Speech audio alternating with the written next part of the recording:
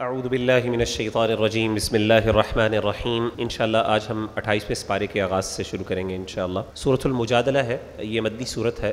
مجادلہ کا مطلب ہے آپس میں بحث و مباحثہ کرنا۔ اس آیت کے شروع میں ایک واقعہ حدیث سے ہمیں ملتا ہے کہ نبی صلی اللہ علیہ وسلم کے پاس ایک خاتون آئی، جن کا نام تھا سیدہ خولہ بنت ثعلبہ رضی اللہ عنہ۔ تو ان کی اپنے ہسبینڈ سے کوئی جھگڑا ہوا، لڑائی ہوئی، جس کی بنیاد پر ان کے ہسبینڈ نے ان کے ساتھ زہار کر لیا، جیسا کہ جس کا ذکر پہلے بھی ہو چکا۔ ہے تو اس حوالے سے پھر اللہ تعالیٰ نے احکامات نازل کیے۔ یہ مدنی صورت ہے۔ بسم اللہ الرحمن الرحیم، اللہ فرماتے ہیں، قد سمع اللہ قول التي تجادلك فی زوجها یقیناً اللہ تعالیٰ نے اس عورت کی بات سن لی جو آپ سے اپنے شوہر کے بارے میں بحث و مباحثہ کر رہی تھیں وتشتکی الى اللہ، اور وہ اپنے غم کی شکایت اللہ سے کرتی تھیں واللہ یسمع تحاورکما، اللہ تعالیٰ تم دونوں کی گفتگو کو سن رہا تھا۔ ان اللہ سمیع بصیر، بے شک اللہ دیکھنے والے، سننے والے ہیں۔ الذین یظاہرون منکم من نسائہم، تم میں سے جو لوگ اپنی بیویوں سے زہار کرتے ہیں، ما ہن امہاتہم، وہ ان کی مائیں نہیں بن جاتی۔ ان امہاتہم الا اللہ ولدنہم، بے شک ان کی مائیں تو وہ عورتیں ہوتی ہیں جو ان کو جنتی ہیں، جو ان کو ڈیلیور کرتی ہیں۔ وَإِنَّهُمْ لَيَقُولُونَ مُنْكَرًا مِنَ الْقَوْلِ وَزُورًا، اور بے شک وہ ایک نامعقول بات اور جھوٹ کہتے ہیں وَإِنَّ اللَّهَ لَعَفُوٌ غَفُورٌ اور بے شک اللہ تعالیٰ بخشنے والے اور معاف کرنے والے ہیں۔ تو زہار کے بارے میں جیسے پہلے بھی میں ذکر کر چکا ہوں، زہار میں ایک صورت یہ ہوتی تھی کہ مرد اپنی بیوی سے کہتا تھا، تم میری ماں کی طرح ہو۔ اور اس کے بعد اس سے تعلقی، قطع تعلقی ہو جاتی تھی یعنی بات نہیں کرتا تھا۔ ظاہر ہے اس کے ساتھ یعنی بات تو کرتا تھا لیکن اس کے ساتھ یعنی یعنی وہ تعلقات قائم نہیں کرتا تھا۔ تو اللہ تعالیٰ نے اس پریکٹس کے حوالے سے جو لوگ زہار کرتے ہیں، ان کے حوالے سے کچھ احکامات نازل کیے۔ یہ جو صحابیت تھیں یہ اللہ کے رسول کے پاس شکایت لے کے آئیں کہ میرے شوہر نے میرے ساتھ یہ کیا ہے، اب مجھے بتائیں اس میں میری کیا غلطی ہے؟ میرے تو بچے ہیں، میں کہاں پہ جاؤں گی اس وقت؟ تو اللہ کے رسول صلی اللہ علیہ وسلم نے اس وقت آپ کو واپس بھیج دیا اور کہا کہ اللہ تعالیٰ کا تو اس بارے میں کوئی حکم نہیں ہے، تو تمہیں اس کو قبول کرنا پڑے گا یعنی تمہیں اس کو ماننا پڑے گا۔ اب تم دونوں کے درمیان فراق ہو گیا، تو بڑی پریشان ہوئیں، تو وہ آپ سے تھوڑی سی بحث و مباحثہ کرنے لگ پڑیں۔ تو اللہ کے رسول نے کہا میرے پاس تمہارے لیے کوئی سولوشن نہیں ہے اللہ تعالیٰ کی طرف سے۔ پھر اللہ تعالیٰ نے جب یہ آیات نازل کیں تو اس وقت ان کو سولوشن بتائی کہ اب اس کا طریقہ کیا ہے، اس کا حل کیا ہے۔ اور ظاہر ہے یہ ہم سب لوگوں کے لیے بھی ہے۔ تو اللہ تعالیٰ نے یہاں پہ کہا کہ مائیں تمہاری وہ نہیں ہوتی جو جن کو تم کہہ دیتے ہو منہ سے، بلکہ اصل مائیں وہ ہوتی ہیں جو تمہیں ڈیلیور کرتی ہیں۔ والذین یظاہرون من نسائہم اور وہ لوگ جو اپنی بیویوں سے زہار کرتے ہیں۔ ثم یعودون پھر وہ رجوع کر لیں۔ لما قالوا، اس بات سے جو انہوں نے کہی ہے۔ فتحریر رقبت من قبل ان یتماسا۔ تو ان پر لازم ہے آزاد کرنا، ایک غلام کو اس سے پہلے کہ وہ دونوں ایک دوسرے کو ہاتھ لگائیں۔ تو پہلی چیز کیا کرنی ہے؟ اللہ نے سولوشن بتا دی کہ واپس جا سکتے ہو۔ لیکن سولوشن یہ ہے کہ تم نے واپس اگر اپنی بیوی کے پاس جانا ہے، تو تمہیں سب سے پہلے ایک غلام کو آزاد کرنا پڑے گا۔ ذالکم تو ادون بھی یہ تمہیں نصیحت کی جاتی ہے۔ اس سے واللہ بما تعملون خبیر اور اللہ تعالیٰ جو تم عمل کرتے ہو، اس سے باخبر ہے۔ فمن لم یجد فصیام شہرین متتابعین من قبل ان یتماسا پس جو بندہ آزاد کرنے کو نہ پائے یعنی غلام کو آزاد کر نہ سکتا ہو، تو اس کے لیے ضروری ہے کہ وہ دو مہینے کے لگاتار روزے رکھے۔ اس سے پہلے کہ وہ دونوں ایک دوسرے کو ہاتھ لگائیں۔ فمن لم یستطع اور جو اس کی بھی استطاعت نہ رکھتا ہو فاطعام ستین مسکینہ، تو وہ کھانا کھلائے ساٹھ مسکینوں کو۔ ذالک لتؤمنوا باللہ ورسولہ یہ اس لیے ہے کہ تم اللہ اور اس کے رسول پر ایمان رکھو۔ وتلک حدود اللہ، اور یہ اللہ کی باؤنڈریز ہیں۔ وللکافرین عذاب علیم اور کافروں کے لیے دردناک عذاب ہے۔ تو تین چیزیں ہیں، سب سے پہلے گردن کو آزاد کرنا۔ ہے جو بندہ وہ نہیں کر سکتا، تو اس کے لیے ضروری ہے کہ وہ ساٹھ دنوں کے روزے رکھے بغیر بریک کے۔ اور اگر کوئی ان نیسیسری بریک آ گئی، تو دوبارہ زیرو سے سٹارٹ کرنے ہوں گے۔ اور اگر وہ یہ بھی نہ کر سکے، کمزور ہے یا پھر کوئی میڈیکل ایشو ہے، کوئی اس طرح کا معاملہ ہے تو پھر تیسری تیسرا حل یہ ہے کہ وہ ساٹھ مسکینوں کو کھانا کھلائے۔ یعنی اس میں یہ نہیں کر سکتا ایک مسکین کو ساٹھ دفعہ کھانا کھلا لے، بلکہ ساٹھ مسکینوں کو کھانا کھلانا چاہیے۔ بے شک ایک دن میں کھلا دے یا پھر مختلف دنوں میں کھلا لے، لیکن ساٹھ مسکینوں کو کھانا کھلانا تب جا کے، اور یہ تب کرنا ہے جب اپنی بیوی کو ہاتھ لگانے سے پہلے۔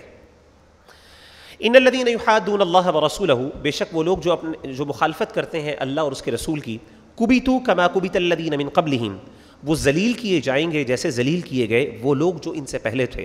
وقد انزلنا آیات بینات اور یقیناً ہم نے واضح آیات نازل کیں۔ وللکافرین عذاب مہین اور کافروں کے لیے ذلت والا عذاب یوم یبعثهم اللہ جمیعا جس دن اللہ تعالیٰ اٹھائے گا ان سب کو۔ فیونبی بما عملوا، پھر ان کو خبر دے گا ان کے اعمال کا۔ یعنی جو عمل کرتے رہے، اس کی خبر دے گا ان کو۔ احصاہ اللہ ونسوہ اس نے ان کو گر رکھا تھا، ان کو شمار کر رکھا ہے اللہ نے، لیکن وہ اس کو بھول گئے۔ یعنی اللہ نے تو ان کو شمار کر رکھا ہے۔ اللہ کو سارا پتہ ہے، وہ البتہ اللہ کو بھول گئے۔ واللہ علی کل شیء شہید۔ اللہ تعالیٰ ہر چیز پر نگر یعنی نگران ہے یعنی گواہ ہے۔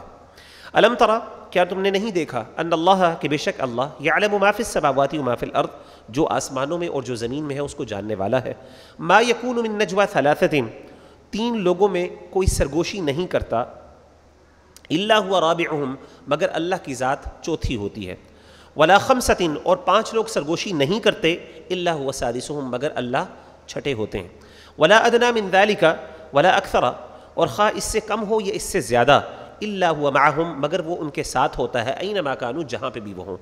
ثم ينبئهم بما عملوا یوم القیامہ، پھر وہ ان کو خبر دے گا، اس کی جو انہوں نے عمل کیا قیامت کے دن، ان اللہ بکل شعین علیم، بے شک اللہ تعالیٰ ہر چیز کا علم رکھنے والے ہیں۔ تو جو لوگ سرگوشی کرتے ہیں وہ یہ نہ سمجھیں کہ اللہ تعالیٰ موجود نہیں ہے۔ اگر وہ تین ہے تو اللہ چوتھا ہے، اگر وہ پانچ ہے تو اللہ چھٹا ہے۔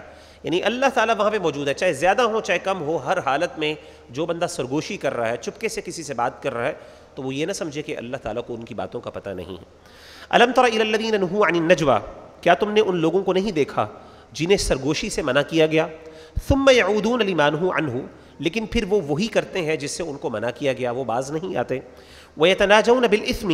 اور وہ آپس میں گناہ کے بارے میں سرگوشی کرتے ہیں والعودوان سرکشی کے بارے میں بھی سرگوشی کرتے ہیں وہ معصیت الرسول اور رسول کی نافرمانی کے بارے میں سرگوشی کرتے ہیں۔ وہ ادا جاؤ کا اور جب وہ آپ صلی اللہ علیہ وسلم کے پاس آتے ہیں حیو کا آپ کو اس، آپ کو سلام کی وہ دعا دیتے ہیں بیمالم یحیی یحیی کا اللہ اس لفظ سے جس نے اللہ تعالیٰ نے آپ کو، جس سے اللہ تعالیٰ نے آپ کو دعا نہیں دی۔ یعنی اس لفظ سے سلام کہتے ہیں اس ان الفاظ کو یوز کرتے ہیں جو الفاظ جو الفاظ اللہ تعالیٰ نے آپ کے لیے استعمال نہیں کیے۔ وہ یقول فی انفسہم اور وہ اپنے دلوں میں کہتے ہیں لولا يعذب اللہ بما نقول، کیوں نہیں اللہ ہمیں عذاب دیتا؟ اس پر جو ہم باتیں کرتے ہیں۔ حسبہم جہنم ان کا، ان کے لیے کافی ہے جہنم۔ یسلونہا وہ اس میں ڈالے جائیں گے۔ فبی المصیر بس کتنا برا ٹھکانہ ہے۔ تو اللہ تعالیٰ نے یہاں پہ منافقین کی بات کی یا یہودیوں کی بات کی، وہ لوگ جو چھپ چھپ کے نبی صلی اللہ علیہ وسلم کے خلاف بری باتیں اور پلاننگز کیا کرتے تھے، سرگوشیاں کیا کرتے تھے۔ تو اللہ تعالیٰ نے کہا، ساتھ ہی یہ کام کرتے تھے۔ دوسرا کام یہ کرتے تھے کہ جب بھی نبی صلی اللہ علیہ وسلم سے ملنے آتے، تو ان الفاظ سے آپ صلی اللہ علیہ وسلم کو سلام کرتے یا دعا دیتے جو الفاظ برے ہوتے۔ جیسے السلام علیکم کو السلام علیکم کہتے یعنی تم پر موت ہو علیہ زب اللہ جان کے بگاڑ کے الفاظ کو۔ تو سیدہ عائشہ رضی اللہ عنہ فرماتی ہیں کہ اللہ کے رسول صلی اللہ علیہ وسلم کے سامنے آئے اور انہوں نے جب یہ بدتمیزی کی تو اللہ کے رسول نے وعلیکم کہا اور کہا کہ تم پر بھی ایسا ہو۔ تو اللہ تعالیٰ نے ان کو اور وہی کہتے ہیں کہ اللہ تعالیٰ ہمیں پکڑتا کیوں نہیں ہے؟ یعنی اللہ تعالیٰ نے ہمیں سزا کیوں نہیں دی؟ اللہ کو تو پتہ ہے کہ ہم اس طرح کی بات کر رہے ہیں۔ تو اللہ تعالیٰ کہتے ہیں کہ اللہ نے ان کو ڈھیل دی ہے، ان کا ٹھکانہ جہنم ہے، ان قریب وہ اس میں داخل ہوں گے۔ یا ایوہ الذین آمنو، اے ایمان والو، اذا تناجیتم، جب بھی تم آپس میں سرگوشی کرو، فلا تناجو بالاسم والعدوان ومعصیت الرسول۔ پس تم نہ سرگوشی کرو گناہ کی، سرکشی کی اور نبی صلی اللہ علیہ وسلم کی مخالفت کی۔ وتناجو بالبر والتقوى ہاں سرگوشی کرنی ہے تو نیکی میں اور پرہیزگاری میں کرو۔ واتقوا اللہ الذي انتم الیہ واتقوا اللہ الذي الیہ تحشرون اور ڈرو اس اللہ سے جس کی طرف تم جمع کیے جاؤ گے۔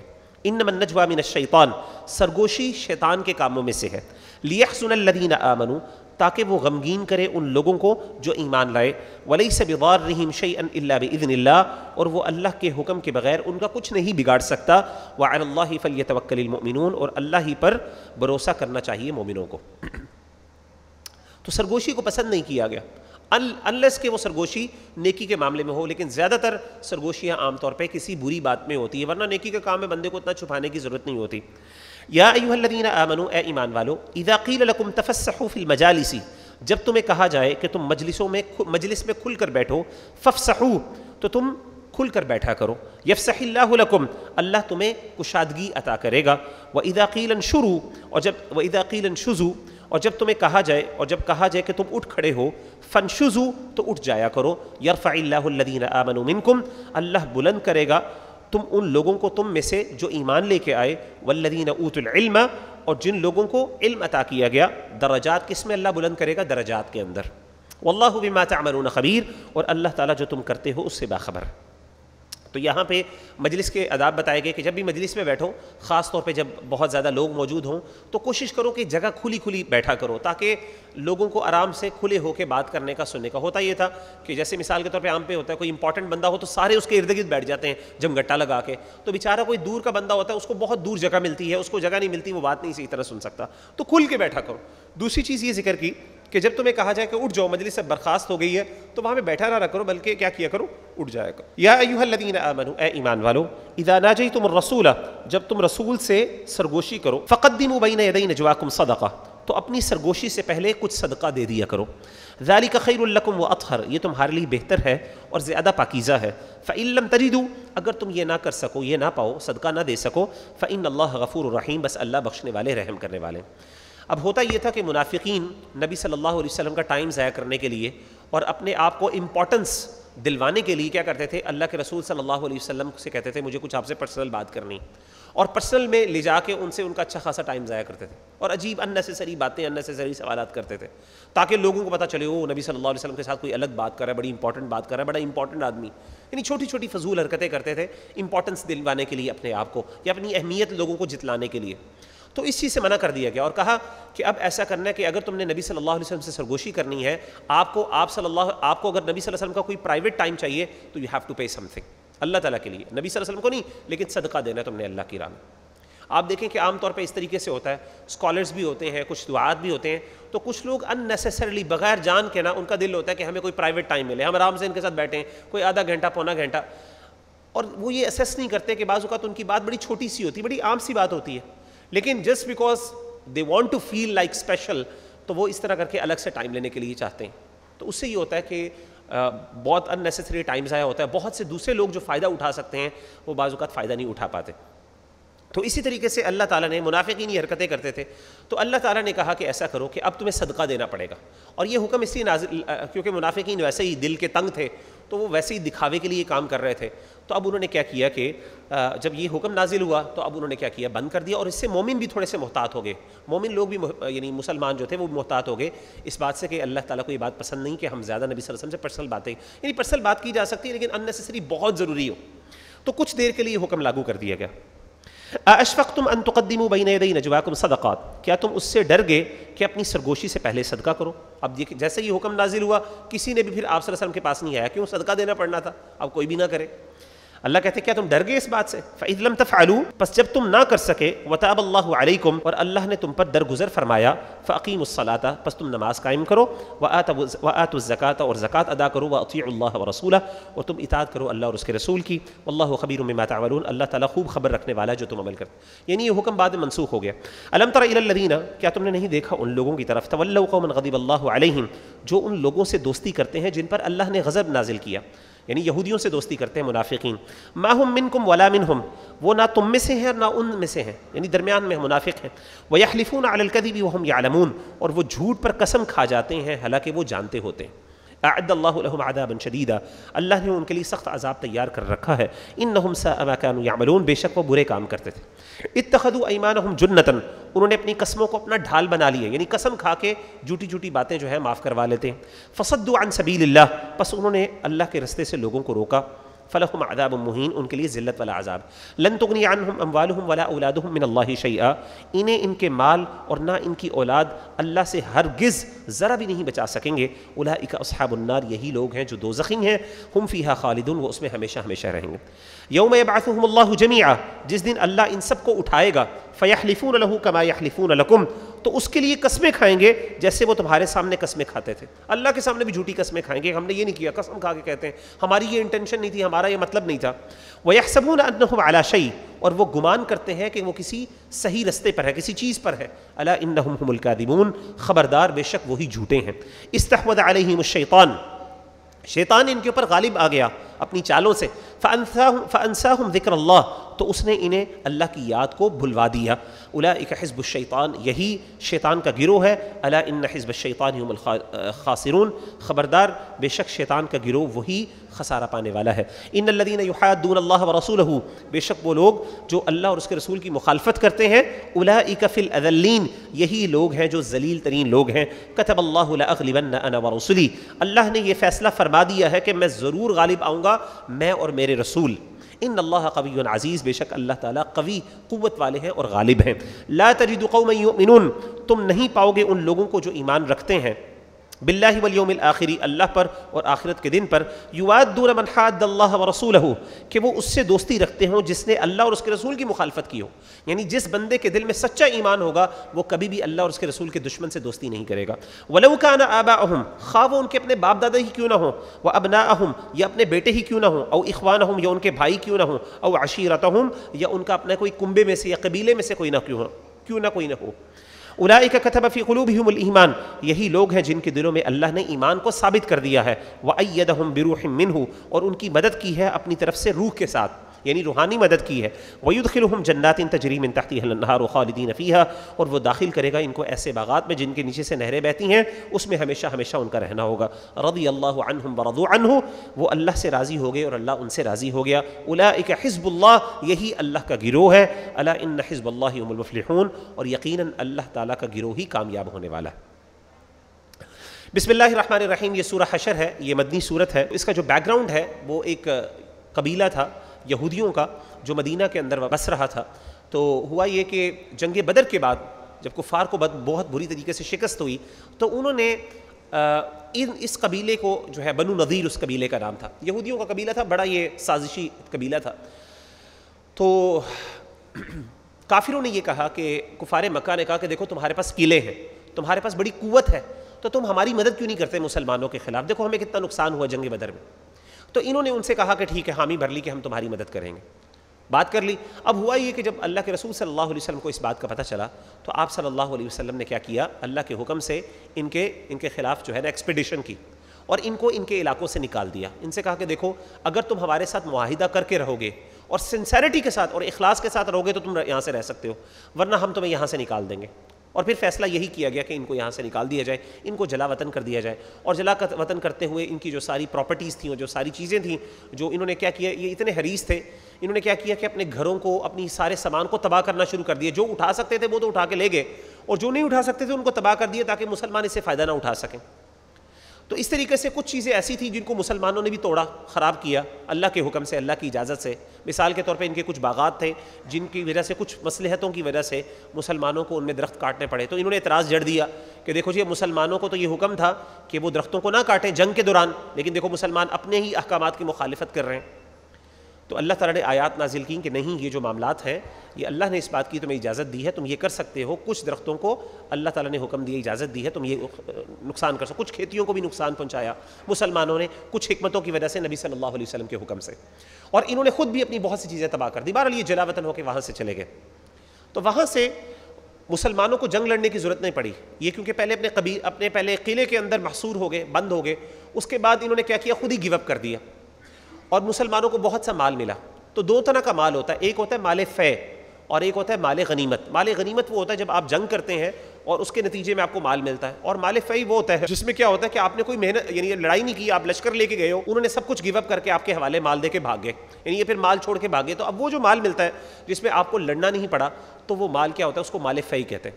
وہ جو مال ہوتا ہے مال فی وہ جو ہوتا ہے وہ بیت المال میں جاتا ہے۔ وہ مجاہدین کا حصہ نہیں ہوتا، اس میں مجاہدین کو کچھ نہیں ملتا۔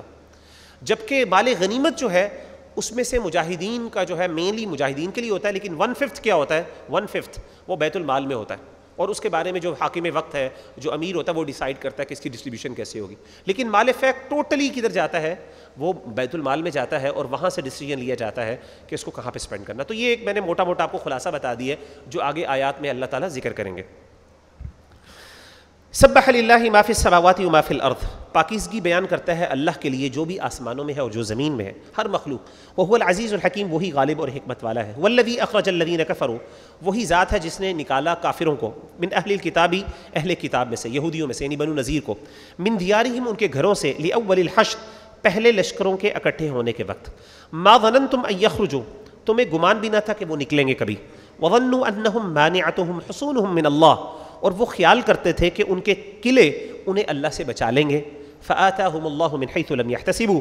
تو ان پر اللہ کا غضب ایسی جگہ سے آیا جس کا ان کو گمان بھی نہیں تھا۔ وقذف فی قلوبہم الرعب۔ اور اللہ نے ان کے دلوں میں روب ڈال دیا، خوف ڈال دیا۔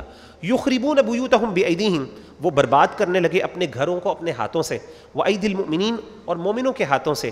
فاعتبروا۔ پس عبرت پکڑو یا اولی الابصار اے دیکھنے والو، اے آنکھوں والو۔ ولولا ان كتب اللہ علیہم الجلا اگر اللہ تعالیٰ نے ان کے لیے ان پر نہ لکھا ہوتا جلاوطنی لعذبہم فی الدنیا تو وہ ان کو دنیا میں ضرور عذاب دیتا وَلَهُمْ فِي الْآخِرَةِ عَذَابُ النَّارِ اور آخرت میں ان کے لیے جہنم کا عذاب ہے ذَلِكَ بِأَنَّهُمْ شَاقُ اللَّهَ وَرَسُولَهُ یہ اس لیے کہ انہوں نے مخالفت کی اللہ اور اس کے رسول کی وَمَنْ يُشَاقِ اللَّهَ اور جس نے اللہ کی مخالفت کی فَإِنَّ اللَّهَ شَدِيدُ الْعِقَابِ پس اس کے لیے سخت سزا پس اللہ تعالیٰ اس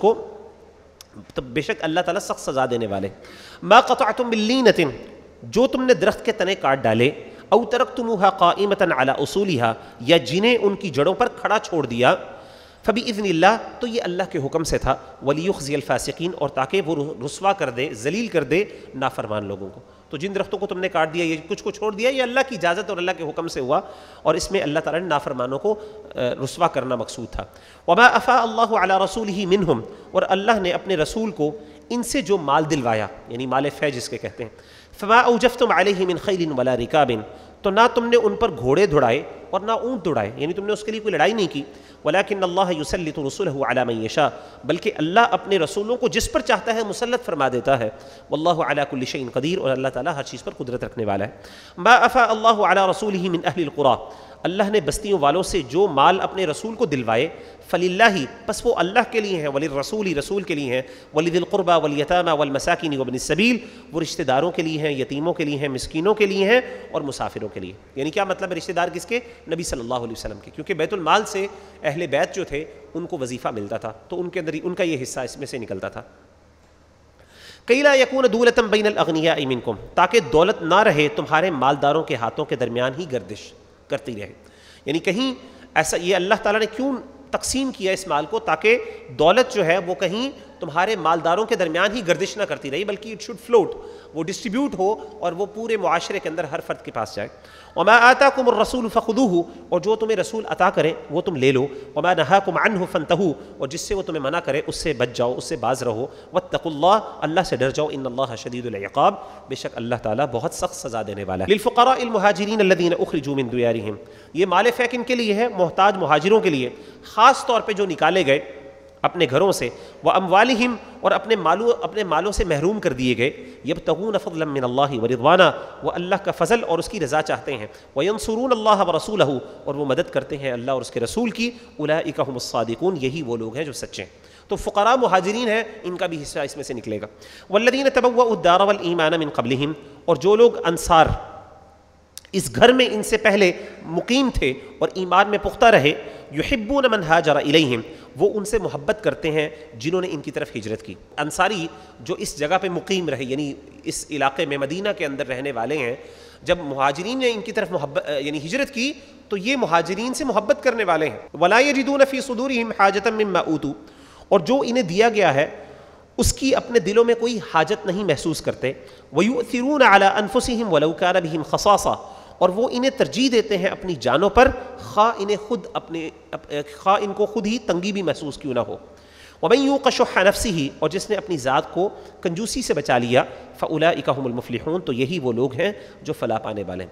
تو اللہ تعالیٰ نے یہاں پہ انصاری جو صحابہ ہیں، ان کی تعریف فرماتے ہوئے کہا، مہاجرین نے ان کی طرف ہجرت کی اور انصار انہوں نے نہ صرف ان سے محبت کی، بلکہ مہاجرین کو جو بھی ملتا ہے، اگر ان کو اللہ کی طرف سے یا اللہ کے رسول صلی اللہ علیہ وسلم کی طرف سے کچھ اسپیشل فیورز بھی مل جائیں، تو انصاریوں کے کبھی دل میں یہ بات نہیں آئی کہ ہمارے بھائیوں کو کیوں مل رہا ہے، ہمیں بھی ملنا چاہیے۔ تو بڑے کھلے دل والے، نہ صرف کھلے دل والے ہیں، بلکہ کیا کرتے ہیں؟ جو ان کی ضرورتیں ہوتی ہیں، اس پر ان کو ترجیح دیتے ہیں۔ کیا مطلب ہے؟ اپنی کمپرومائز کر لیتے ہیں، لیکن ان کو ضرور دیتے ہیں، ان کے ساتھ احسان کرتے ہیں، کہ ان کے ساتھ مہاجرین کے ساتھ۔ والذین جاؤوا من بعدہم، اور جو لوگ ان کے بعد آئے، کیا مطلب ہے؟ یعنی جو اس کے بعد مسلمان لوگ، کوئی بھی مہاجرین یعنی تابعین تبا تابعین کے بعد، صحابہ کے بعد، یقولون، وہ کہتے ہیں، ربنا، اے ہمارے رب، ہمیں بخش دے ربنا اغفر لنا ولاخواننا اللہ ہمیں معاف کر دیجیے، اور ہمارے بھائیوں کو، الذین سبقونا بالایمان، وہ جنہوں نے ایمان میں ہم سے سبقت کی، جو ایمان میں ہم سے پہلے گزر گئے۔ ولا تجعل فی قلوبنا غلا للذین آمنوا، اور جو ایمان لائے، ہمارے دلوں میں ان کے لیے کوئی کینہ نہ رہنے دے۔ ربنا، اے ہمارے رب انک رؤوف الرحیم، بے شک آپ شفقت کرنے والے اور رحم کرنے والے۔ تو اللہ تعالیٰ نے مسلمانوں کی صفات بیان کی کہ مسلمان ایک دوسرے کے لیے ان کا ایثار کا درجہ ہوتا ہے یعنی ایک ایثار کا جذبہ ہوتا ہے الٹروازم جسے ہم کہتے ہیں۔ اور نہ صرف صرف ان مسلمانوں کا آپس میں مہاجرین اور انصار کا، بلکہ جو بعد میں آتے ہیں، ان کا بھی ان کے بارے میں یہی رویہ ہوتا ہے۔ علم تر الدین نافقو کیا نہیں تم نے دیکھا ان لوگوں کی طرف جنہوں نے نفاق اختیار کیا منافقوں کی طرف؟ یقولون علی اخوانہم الذین کفروا وہ اپنے بھائیوں کو کہتے ہیں جو کافر ہوئے من اہل الکتابی اہل کتاب میں سے لئن اخرجتم اگر تم نکالے گئے نکالے گئے اس زمین زمین سے لنخرجن معکم تو ہم بھی تمہارے ساتھ ضرور نکل جائیں گے۔ یعنی اگر تمہیں بینش کیا گیا یہاں سے جلا وطن کیا گیا تو ہم بھی تمہارے ساتھ نکل جائیں گے ہم بھی, بھی یہاں پہ نہیں رہیں گے۔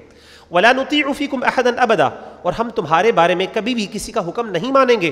وان قوتلتم لننصرنکم اور اگر تم سے لڑائی ہوئی تو ہم تمہاری ضرور مدد کریں گے۔ واللہ یشہد انہم لکاذبون۔ اللہ گواہی دیتا ہے کہ یہ جھوٹے یعنی منافقین نے اہل کتاب کے ساتھ دوستیاں کی ان سے کہا جی ہم تمہارے ساتھ ہیں، اگر تمہیں نکالا گیا تو ہم بھی نکل جائیں گے، اگر تم پر لڑائی کی گئی تو ہم تمہاری مدد کریں گے۔ اللہ کہتے ہیں سارے جھوٹے ہیں۔ یہ منافقین نہ مسلمانوں کے ساتھ سچے ہیں، نہ ان کے ساتھ سچے ہیں۔ یہ صرف مطلب پرست۔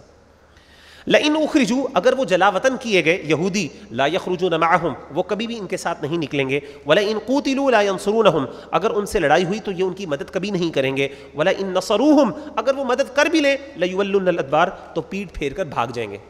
یعنی اگر مدد کرنا چاہیں گے بھی، تو جب جنگ کو دیکھیں گے سامنے سے تو کیا کریں گے؟ پیٹ پھیر کر بھاگ جائیں گے۔ ثم لا ينصرون، پھر وہ مدد نہیں کیے جائیں گے۔ لانتم اشد رهبه في صدورهم من الله۔ یقینا ان کے دلوں میں تمہارا ڈر اللہ سے بہت زیادہ ہے۔ یعنی اللہ کو چھوڑ کر تم سے زیادہ ڈرتے ہیں مسلمانوں، یہ منافقین۔ ذلك بانهم قوم لا يفقهون۔ یہ اس لیے ہے کیونکہ یہ ایسی قوم ہے جو سمجھتے نہیں ہیں۔ لا يقاتلونكم جميعا۔ وہ سب وہ سب مل کر بھی تم سے نہیں لڑیں گے۔ الا في قرب محصنه مگر بستیوں میں قلعہ بند ہو کر۔ او من وراء جدر۔ یا پھر دیواروں کے پیچھے سے۔ یعنی یہ ہمیشہ جب بھی تم سے لڑیں گے، اگر لڑنا چاہیں تو پہلے تو قلعے کے اندر بند ہو کے لڑیں گے۔ کبھی بھی اوپن تمہارے ساتھ کبھی لڑنے کی ضرورت نہیں کریں گے۔ اور دوسری بات ہے، دیواروں کے پیچھے سے لڑیں گے۔ یعنی دور سے کچھ کوشش کریں گے کس طریقے سے ان کو یعنی فیس نہ کرنا پڑے مسلمانوں کو۔ بأسهم بینہم شدید۔ آپس میں ان کی لڑائی بہت سخت ہے۔ تحسبهم جمیان تم گمان کرتے ہو یہ اکٹھے ہیں، وقلوبهم شتا، لیکن ان کے دل الگ الگ ہیں۔ ذالک بانہم قوم اللہ يعقلون، کیونکہ یہ ایسی قوم ہے جو عقل نہیں کرتے۔ تو اللہ کہتے ہیں یہ منافقین اور یہودی، یہ کفر جتنا بھی ہے، یہ آپس میں تمہیں ایک یونائٹڈ نظر آتا ہے، ایسی بات نہیں۔ یہ بظاہر نظر آتے ہیں، لیکن ان کے دل آپس میں جدا جدا۔ یہ آپس میں اتنے ہی، بلکہ تم سے زیادہ ان کی آپس میں دشمنی ہے۔ لیکن تمہارے خلاف یہ کچھ دیر کے لیے اکٹھے ہو جاتے ہیں، تو تمہیں لگتا ہے شاید یہ اکٹھے ہیں، ایسی بات نہیں۔ اگر اسلام یا مسلمان کچھ دیر کے لیے سین سے ہٹ جائیں، تو تم دیکھو گے کس طریقے سے ایک دوسرے کو کھائیں گے۔ کبثل الدین من ان کا حال ان لوگوں جیسا ہے جو قریبی زمانے میں ان سے پہلے گزرے۔ ذاقوا وبال امرہم، انہوں نے اپنے کام کا وبال چکھ لیا، ولہم عذاب علی، ان کے لیے دردناک عذاب ہے۔ کبثل الشیطانی شیطان کی مثال جیسی ہے ان کی مثال۔ اذ قال للانسان اکفر، جب یہ انسان سے کہتا ہے تم کافر ہو جاؤ، کفر کرو۔ فلما کفر، جب انسان کفر کر بیٹھتا ہے، قال انی بریء منک، تو وہ کہتا ہے کہ میں تم سے بری ہو گیا ہوں۔ انی اخاف اللہ رب العالمین، میں تو اللہ تعالی سے ڈرتا ہوں جو رب العالمین ہے۔ فکان عاقبتهما انهما فی النار۔ پس دونوں کا انجام یہ ہے کہ وہ دونوں آگ میں ہوں گے۔ گے، خالدین فیہا، وہ ہمیشہ رہیں گے اس میں۔ وذالک جزاء الظالمین، اور یہ ظالموں کی جزا یعنی شیطان اور اس کے چیلے۔ یا ایوہ الذین آمنوا، اے ایمان والو اتق اللہ اللہ سے ڈرو، ولتنظر نفس ما قدمت لغد۔ اور ہر شخص کو چاہیے کہ وہ جو اس نے آگے بھیجا ہے، اس کے بارے میں سوچے اور اس کو دیکھے۔ سوچے کہ اس نے کیا بھیجا ہے۔ واتقوا اللہ اللہ سے ڈر جاؤ۔ ان اللہ خبیر مما تعملون، بے شک اللہ تعالیٰ خبر رکھنے والے ہیں جو تم عمل کرتے ہو۔ ولا تکونوا اور نہ تم ہو جو کلدین نس اللہ، ان لوگوں کی طرح جو اللہ، جنہوں نے اللہ کو بلا دیا، فانساہم انفسہم، تو اللہ نے بھی ان کو اپنا آپ بلوا دیا۔ فاولئک الفاسقون، یہی لوگ ہیں جو نافرمان ہیں۔ لا یستوی اصحاب النار و اصحاب الجنہ۔ جہنم والے اور جنت والے کبھی بھی برابر نہیں ہو سکتے۔ اصحاب الجنت هم الفائزون۔ جنتی لوگ وہی کامیاب ہیں۔ لو انزلنا هذا القرآن على جبل۔ اگر ہم اس قرآن مجید کو ایک پہاڑ پر نازل کر دیتے، لرأیته خاشعا متصدعا من خشیت اللہ۔ تو تم اس کو اللہ کے خوف سے دبا ہوا ٹکڑے ٹکڑے صورت ٹکڑے ٹکڑے ہوتے دیکھتے۔ یعنی اگر یہ اللہ تعالیٰ نازل کر دیتے پہاڑ پر، تو اللہ کے خوف سے وہ دب جاتا یا پھٹ جاتا۔ ریزہ ریزہ ہو جاتا۔ وتلک الامثال، اور یہ مثالیں ہیں نضربها للناس، ہم لوگوں کے لیے بیان کرتے ہیں۔ لعلهم يتفکرون تاکہ وہ غور و فکر کریں۔ یعنی دیکھیں، قرآن مجید کی کتنی ہیبت ہے کہ اگر یہ اللہ تعالیٰ پہاڑوں پہ نازل کرتے تھے، تو وہ پتھر پتھر اتنا مضبوط، پہاڑ سے مضبوط چیز کیا ہو سکتی ہے۔ لیکن وہ بھی کیا کرتا، ریزہ ریزہ ہو جاتا۔ لیکن اللہ تعالیٰ نے یہ قرآن مجید ہمارے دلوں پر نازل کیا ہمارے دلوں کوئی فرق ہی نہیں پڑتا۔ نہ ہمیں رونا آتا ہے، نہ ہم پر اثر کرتا ہے۔ اللہ معاف کرے، پہاڑوں پر اتنا اثر اس کا ہوتا ہے۔ اللہ الذي لا الہ الا هو وہی اللہ ہے جس کے سوا کوئی معبود نہیں، عالم الغیب والشہادہ۔ غیب کو اور ظاہر کو جاننے والا ہے۔ هو الرحمن الرحیم، وہی بڑا مہربان اور رحیم ہے۔ اللہ الذي لا الہ الا هو وہی اللہ ہے جس کے سوا کوئی معبود نہیں۔ الملک جو بادشاہ ہے، القدوس، نہایت پاک ہے، السلام، سلامتی والا ہے، المؤمن، امن دینے والا ہے۔ یہ مومن والا مومن نہیں ہے جو مومن دو طرح کے عربی زبان میں یہ اس کا یعنی اس کی کمپوزیشن ڈفرینٹ ہے، اس کی کمپوزیشن ڈفرینٹ ہے۔ اس کے روٹس میں اس کی کمپوزیشن کا فرق ہے۔ اسی وجہ سے مومن، یہ ایمان والا مومن نہیں ہے۔ اس سے مراد ہے امن دینے والا۔ المحیمن، نگہبان۔ العزیز، غالب۔ الجبار، جبر کرنے والا۔ المتکبر، بڑائی والا۔ سبحان اللہ عما یشرکون۔ اللہ پاک ہے، اس سے جو وہ شریک کرتے ہیں اللہ کے ساتھ۔ اللہ الخالق، وہی اللہ ہے جو پیدا کرنے والا ہے۔ الباری ایجاد کرنے والا ہے۔ المصور تصویر دینے والا ہے۔ لہ الاسماء الحسنہ اس کے لیے اچھے نام ہے یسبح له ما فی السماوات والارض، اس کی پاکیزی اس کی پاکیزگی بیان کرتا ہے جو بھی آسمانوں میں ہے اور جو زمین میں۔ ہر مخلوق وہ العزیز الحکیم، وہی غالب اور حکمت والا ہے۔ بسم اللہ الرحمن الرحیم، آگے سورہ ممتحنہ ہے۔ اس کا بیک گراؤنڈ یہ ہے کہ فتح مکہ جب مسلمانوں کی ہوئی، مسلمانوں کے لیے آپ کو پتہ ہے کہ مسلمانوں کے ساتھ صلح حدیبیہ یعنی ایک ٹروس ہوا تھا کفار کے ساتھ مسلمانوں کا۔ اور دس سال کا وہ ایک ٹروس تھا، ایک معاہدہ تھا صلح کا۔ اور اس کے اندر کیا ہوا کہ کافروں نے اس کا معاہدہ کی پاسنا کی، وہ توڑ دیا۔ تو اب اللہ تعالیٰ، اللہ کے رسول صلی اللہ علیہ وسلم نے حکم کیا کہ اب ہم مکہ کے خلاف کوچ کریں گے یعنی ہم وہاں پہ جائیں گے اور وہاں جا کے ہم اس کو اپنا، اس کی، اس کو یعنی اس کے اوپر ایکسپیڈیشن کریں گے اور اس کو ہم اپنے قبضے میں لے لیں گے مکہ کو یعنی مکہ کے شہر کو، قریش کے خلاف۔ اب ہوا یہ کہ قریش قریش کو پتہ نہیں تھا اس بات کا۔ اللہ کے رسول نے کہا کہ اس بات کا کسی کو پتہ نہ چلے۔ چپکے سے تیاری کرو کیونکہ ہم لڑائی جھگڑا نہیں چاہتے۔ ہم جائیں گے ایک بڑے سے لشکر کے ساتھ جائیں گے، وہاں پہ چلے جائیں گے اور ان کو اپنے اختیار دینے پڑیں گے۔ اگر ان کو پہلے پتہ چل گیا تو ہو سکتا ہے وہ جنگی تیاری کر لیں اور جنگ کرنا پڑے۔ تو اللہ کے رسول صلی اللہ علیہ وسلم کی اسٹریٹجی تھی۔ ہوا یہ کہ ایک صحابی تھے جن کا نام تھا حاطب بن ابی بلتا حاطب ابن ابی بلتا رضی اللہ تعالیٰ عنہ۔ یہ صحابی تھے، بڑے اللہ کے رسول کے پیاری صحابی تھے، بدری صحابی تھے۔ تو ہوا یہ کہ ان صحابی سے، ان کے کچھ رشتہ دار وہاں پہ رہتے تھے۔ یہ قریش سے ان کا تعلق نہیں تھا، لیکن ان کا مال بھی وہاں پہ تھا اور اس کے کچھ فیملی ممبرز ان کے جو تھے، وہ مکہ میں رہتے تھے۔ اب انہوں نے کہا کہ مسئلہ یہ ہے کہ کفار جو ہیں، وہ ان کو خدشہ تھا کہ فار ایگزامپل کل کو ایسا نہ ہو کہ کفار جو ہیں میرے فیملی ممبرس کو نقصان پہنچائے۔ تو ایسا کرتا ہوں کہ میں ان کے ساتھ کوئی نیکی، ایک چھوٹی سی ایسی کر دوں یا کچھ ایسی حمایتی بات ان کے ساتھ کر لیتا ہوں، جس سے یہ ہوگا کہ وہ سمجھیں گے کہ حاطب کا ہم پر احسان ہے تو میرے بچوں کو تنگ نہیں کریں گے۔ کل کو میری فیملی ممبرس یا میرے مال کا نقصان نہیں کریں گے۔ تو انہوں نے کیا کیا کہ ایک خط لکھا کفار کے نام پر اور ان سے کہا کہ مسلمان تم پر حملہ کرنے لگے ہیں، فلاں فلاں، یہ ان کا پلان ہے۔ تو انہوں نے ایک خط دیا، ایک خاتون کو جو مکہ کی طرف جا رہی تھی، ایک قافلہ جا رہا تھا، اس خاتون کو پاس دیا اور اسے کہا کہ تم جا کے پہنچا دینا کفار کے سرداروں کے پاس، ان کو پتہ چل جائے گا۔ تو اللہ کے رسول صلی اللہ علیہ وسلم کو وہی کی صورت میں پتہ چل گیا۔ آپ نے کچھ صحابہ کو بھیجا اور انہوں نے جا کے اس قافلے کو روکا، اس خاتون سے وہ خط نکلوا لیا۔ تو اس سے اب صحابہ کو بڑا غصہ آیا۔ صحابہ نے کہا، یہ تو یہ تو خیانت کی ہے اس نے حاطب نے ہمارے ساتھ۔ اور یہ تو اس کی جو ہے نا، اب اس کی سزا اس کو قتل کر دینا چاہیے تو کفر ہے۔ بہرحال اللہ تعالیٰ نے ان کو معاف کر دیا۔ تو اللہ تعالیٰ نے وہاں پہ اس کے کچھ احکامات نازل کیے۔ یا ایوہ الذین آمنوا اے ایمان والو، لا تتخذوا عدوی وعدوکم اولیاء، میرے اور اپنے دشمن کو اپنا دوست نہ بناؤ، تلقون الیہم بالمودہ، تم ان کی طرف دوستی کا پیغام بھیجتے ہو، وقد کفروا بما جاءکم من الحق، اور تمہارے پاس جو حق آیا ہے وہ اس کے انکار کر چکے ہیں۔ یخرجون الرسول و ایاکم، وہ نکالتے ہیں رسول کو اور تمہیں بھی، کدھر سے؟ تمہارے گھروں سے۔ کس وجہ سے؟ صرف اس لیے ان تؤمنوا باللہ ربکم کہ تم ایمان لائے اللہ پر جو تمہارا رب ہے۔ ان کن تم خرج تم جہاد فی سبیلی وابتغاء امرداتی اگر تم نکلتے ہو میرے رستے میں جہاد کے لیے اور میری رضا چاہنے کے لیے، تو سرون یعنی اگر تم واقعی میرے رستے میں جہاد کرتے ہو، میرے لیے کرتے ہو، تو یہ تمہیں کیا کرنا ہے؟ اوائڈ کرنا ہے، ان کے ساتھ دوستی نہیں کرنی۔ کیوں؟ کیا ان کا جرم کیا ہے؟ کفار کا ان کا جرم یہ ہے، یہ تمہیں تمہارے گھروں سے نکال دیتے ہیں۔ صرف اس لیے کہ کیونکہ تم نے اللہ اور اس کے رسول صلی اللہ علیہ وسلم کے ساتھ وفا کی۔ تو سرون علیہم تم ان کی طرف چھپا کر بھیجتے ہو، بالمودتی دوستی کا پیغام۔ وَأَنَا أَعْلَمُ بِمَا أَخْفَيْتُمْ، اور میں خوب جانتا ہوں جو تم چھپاتے ہو۔ وَمَا أَعْلَنْتُمْ، اور جو تم ظاہر کرتے ہو۔ وَمَنْ يَفْعَلْهُ مِنْكُمْ فَقَدْ ضَلَّ سَوَاءَ السَّبِيلِ، اور تم میں سے جو کوئی یہ کرے گا، تو یقیناً جان لو کہ وہ سیدھے رستے سے گمراہ ہو گیا۔ یعنی کوئی بندہ جان بوجھ کے ان احکامات کے بعد اب کرے گا اور اس نے کفار کے ساتھ یہ دوستی لگائی اور ان کے ساتھ خفیہ خطوط بھیجے اور خفیہ دوستی کی تو وہ گمراہ ہو گیا۔ این یثقفوکم، اگر وہ تم پر موقع پائیں یکون لکم اعداء وہ تمہارے دشمن بن جائیں۔ ویبسطوا الیکم ایدیہم والسنتہم بالسوء۔ اور وہ تم پر کھولیں برائی کے ساتھ اپنے ہاتھوں کو اور اپنی زبانوں کو۔ ودو لو تکفرون اور وہ چاہتے ہیں کہ کاش تم کافر ہو جاؤ۔ تو اللہ تعالیٰ کہتے ہیں کہ تم ان کے ساتھ دوستیاں کر رہے ہو۔ حالانکہ ان کا حال یہ ہے کہ اگر ان کو موقع ملے کہ وہ کس طریقے سے تم پر غالب ہو جائیں، تو وہ تمہارے ساتھ کبھی بھی کسی دوستی کو نہیں نبھائیں گے۔ وہ کیا کریں گے؟ وہ تم پہ زبان بھی دراز کریں گے اور اپنے ہاتھوں کو بھی دراز، تمہیں نقصان پہنچائیں گے وہ۔ لن تنفعکم ارحامکم، نہیں تمہیں فائدہ دے گا تمہارے رشتہ دار، تمہارے رشتہ دار تمہیں کوئی فائدہ نہیں دیں گے۔ ولا اولادکم، نہ تمہاری اولاد تمہیں فائدہ دے گی۔ یوم القیامتی، قیامت کے دن، یفصل بینکم، اللہ فیصلہ کرے گا تمہارے درمیان۔ واللہ بما تعملون بصیر، اور جو تم کرتے ہو اللہ دیکھتا ہے۔ قد كانت لكم اسوه حسنه في ابراهيم والذين معه بے شک تمہارے لیے بہترین نمونہ ہے ابراہیم علیہ الصلوۃ والسلام کی زندگی میں اور ان لوگوں کے رویے میں جو ان کے ساتھ۔ سیدنا ابراہیم علیہ الصلوۃ والسلام اور جو ان کے ساتھ ایمان والے تھے، ان کے رویے یا ان کی زندگی میں تمہارے لیے بہترین نمونہ ہے۔ اذ قالوا لقومهم، جب انہوں نے اپنی قوم سے کہا، انا برا امنکم بے شک ہم تم سے بیزار ہیں، ہمارا تم سے کوئی تعلق نہیں تو سب تعلقات ختم ہو گئے۔ ومما تعبدون من دون اللہ اور ان سے بھی جن کی تم اللہ کے سوا عبادت کرتے ہو۔ ہم آج سے اپنے سارے تعلقات تم سے توڑ رہے ہیں، تم سے بھی اور اس طریقے سے تمہارے معبودوں سے بھی۔ اللہ تعالیٰ بتا رہے ہیں کہ یہ آئیڈیل رویہ ہے تمہیں رکھنا ہے کہ اس کے ساتھ کفار کے ساتھ۔ جس طرح ابراہیم نے یہ کیا تھا اور اس کے ایمان والوں نے ان کے ساتھ جو تھے انہوں نے کیا۔ کفرنا بکم و بدا بیننا و بینکم العداوہ۔ اور ابراہیم نے یہ کہا، ہم تمہارے منکر ہیں اور ظاہر ہو گئی ہمارے اور تمہارے درمیان دشمنی۔ اب سے ہمیشہ ہمیشہ کے لیے ہمارے درمیان دشمنی آ گئی۔ والبغضاء ابدا۔ اور اسی طریقے سے ہمارے درمیان بغض آ گیا ہمیشہ کے لیے۔ حتیٰ تؤمنوا باللہ وحدہ۔ یہاں تک کہ تم اللہ اکیلے پر ایمان نہ لے آؤ۔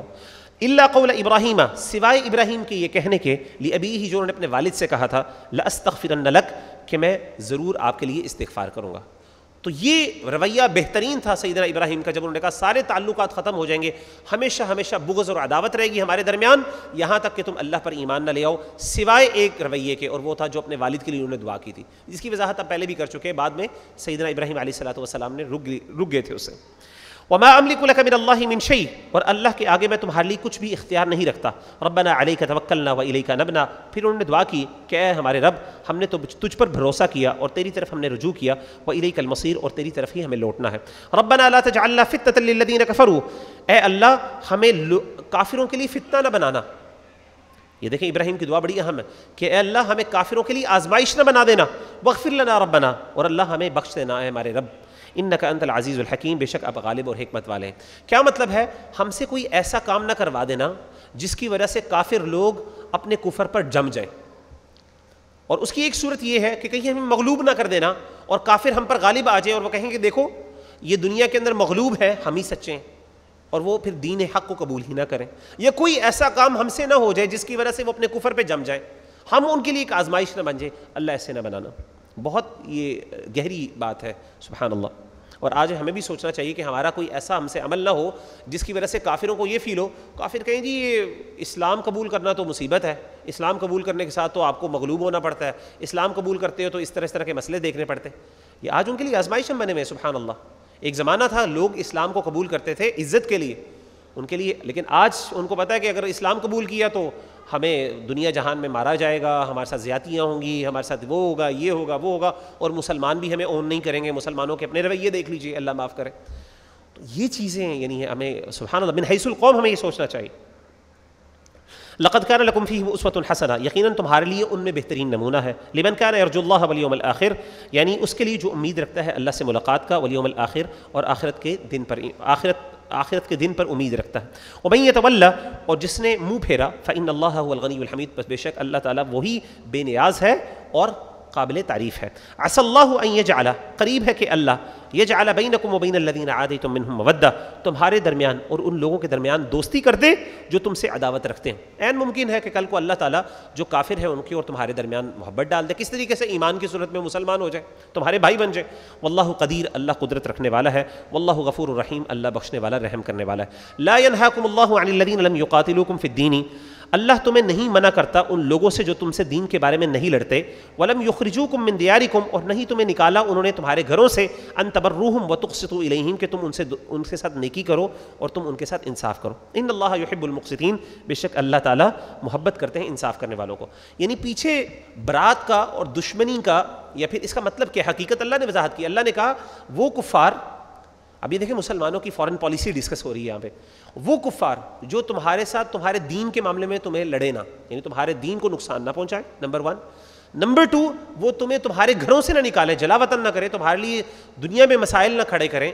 ایسے لوگوں کے لیے تمہیں کوئی مسئلہ نہیں کہ اگر تم ان کے ساتھ نیکی کرو یا انصاف کرو، تم ان کے ساتھ نیکی بھی کر سکتے ہو، ان کے ساتھ انصاف بھی کر سکتے ہو۔ اللہ تعالیٰ انصاف کو پسند کرتا ہے۔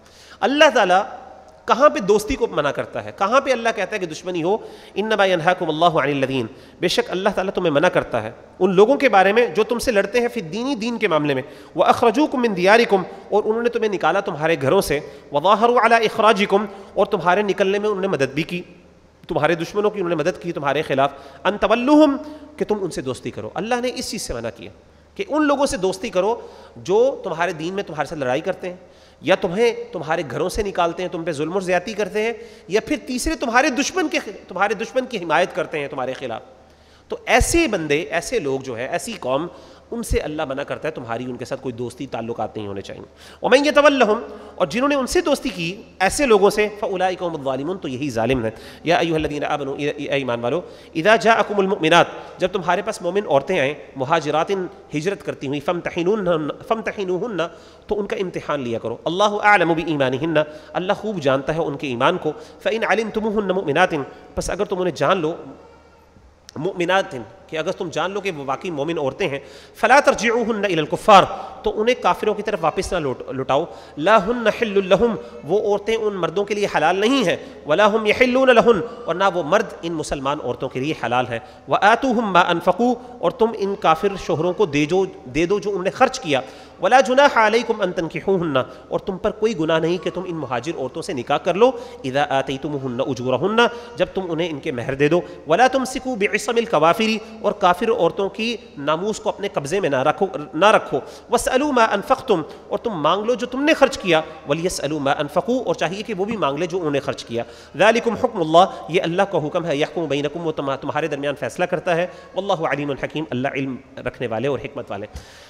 جو صلح حدیبیہ جو ہوئی تھی مسلمانوں کی، ان میں جو ٹرمز تھیں، اس میں ایک ٹرم یہ تھی کہ اگر اگرچہ مسلمانوں کے خلاف تھی، لیکن بہرحال کافروں نے یہ بات منوائی تھی کہ اگر کوئی بندہ ہمارے علاقے سے مسلمانوں کے پاس گیا، چاہے وہ مسلمان ہو کر گیا، کسی بھی صورت میں گیا، وہ مسلمان بھی ہو گیا، تو مسلمانوں کے اوپر لازم ہے کہ اگر ہم مسلمانوں سے تقاضا کریں گے کہ اس بندے کو ہمارے حوالے کر دو، تو مسلمانوں کو حوالہ کر، ہمارے حوالے کرنا پڑے۔ گا لیکن آن دا کانٹری اگر کوئی مسلمان مرد یا عورت کافر ہو کے کافروں کے پاس جانا چاہے، تو مسلمان اس کو روک نہیں سکتے۔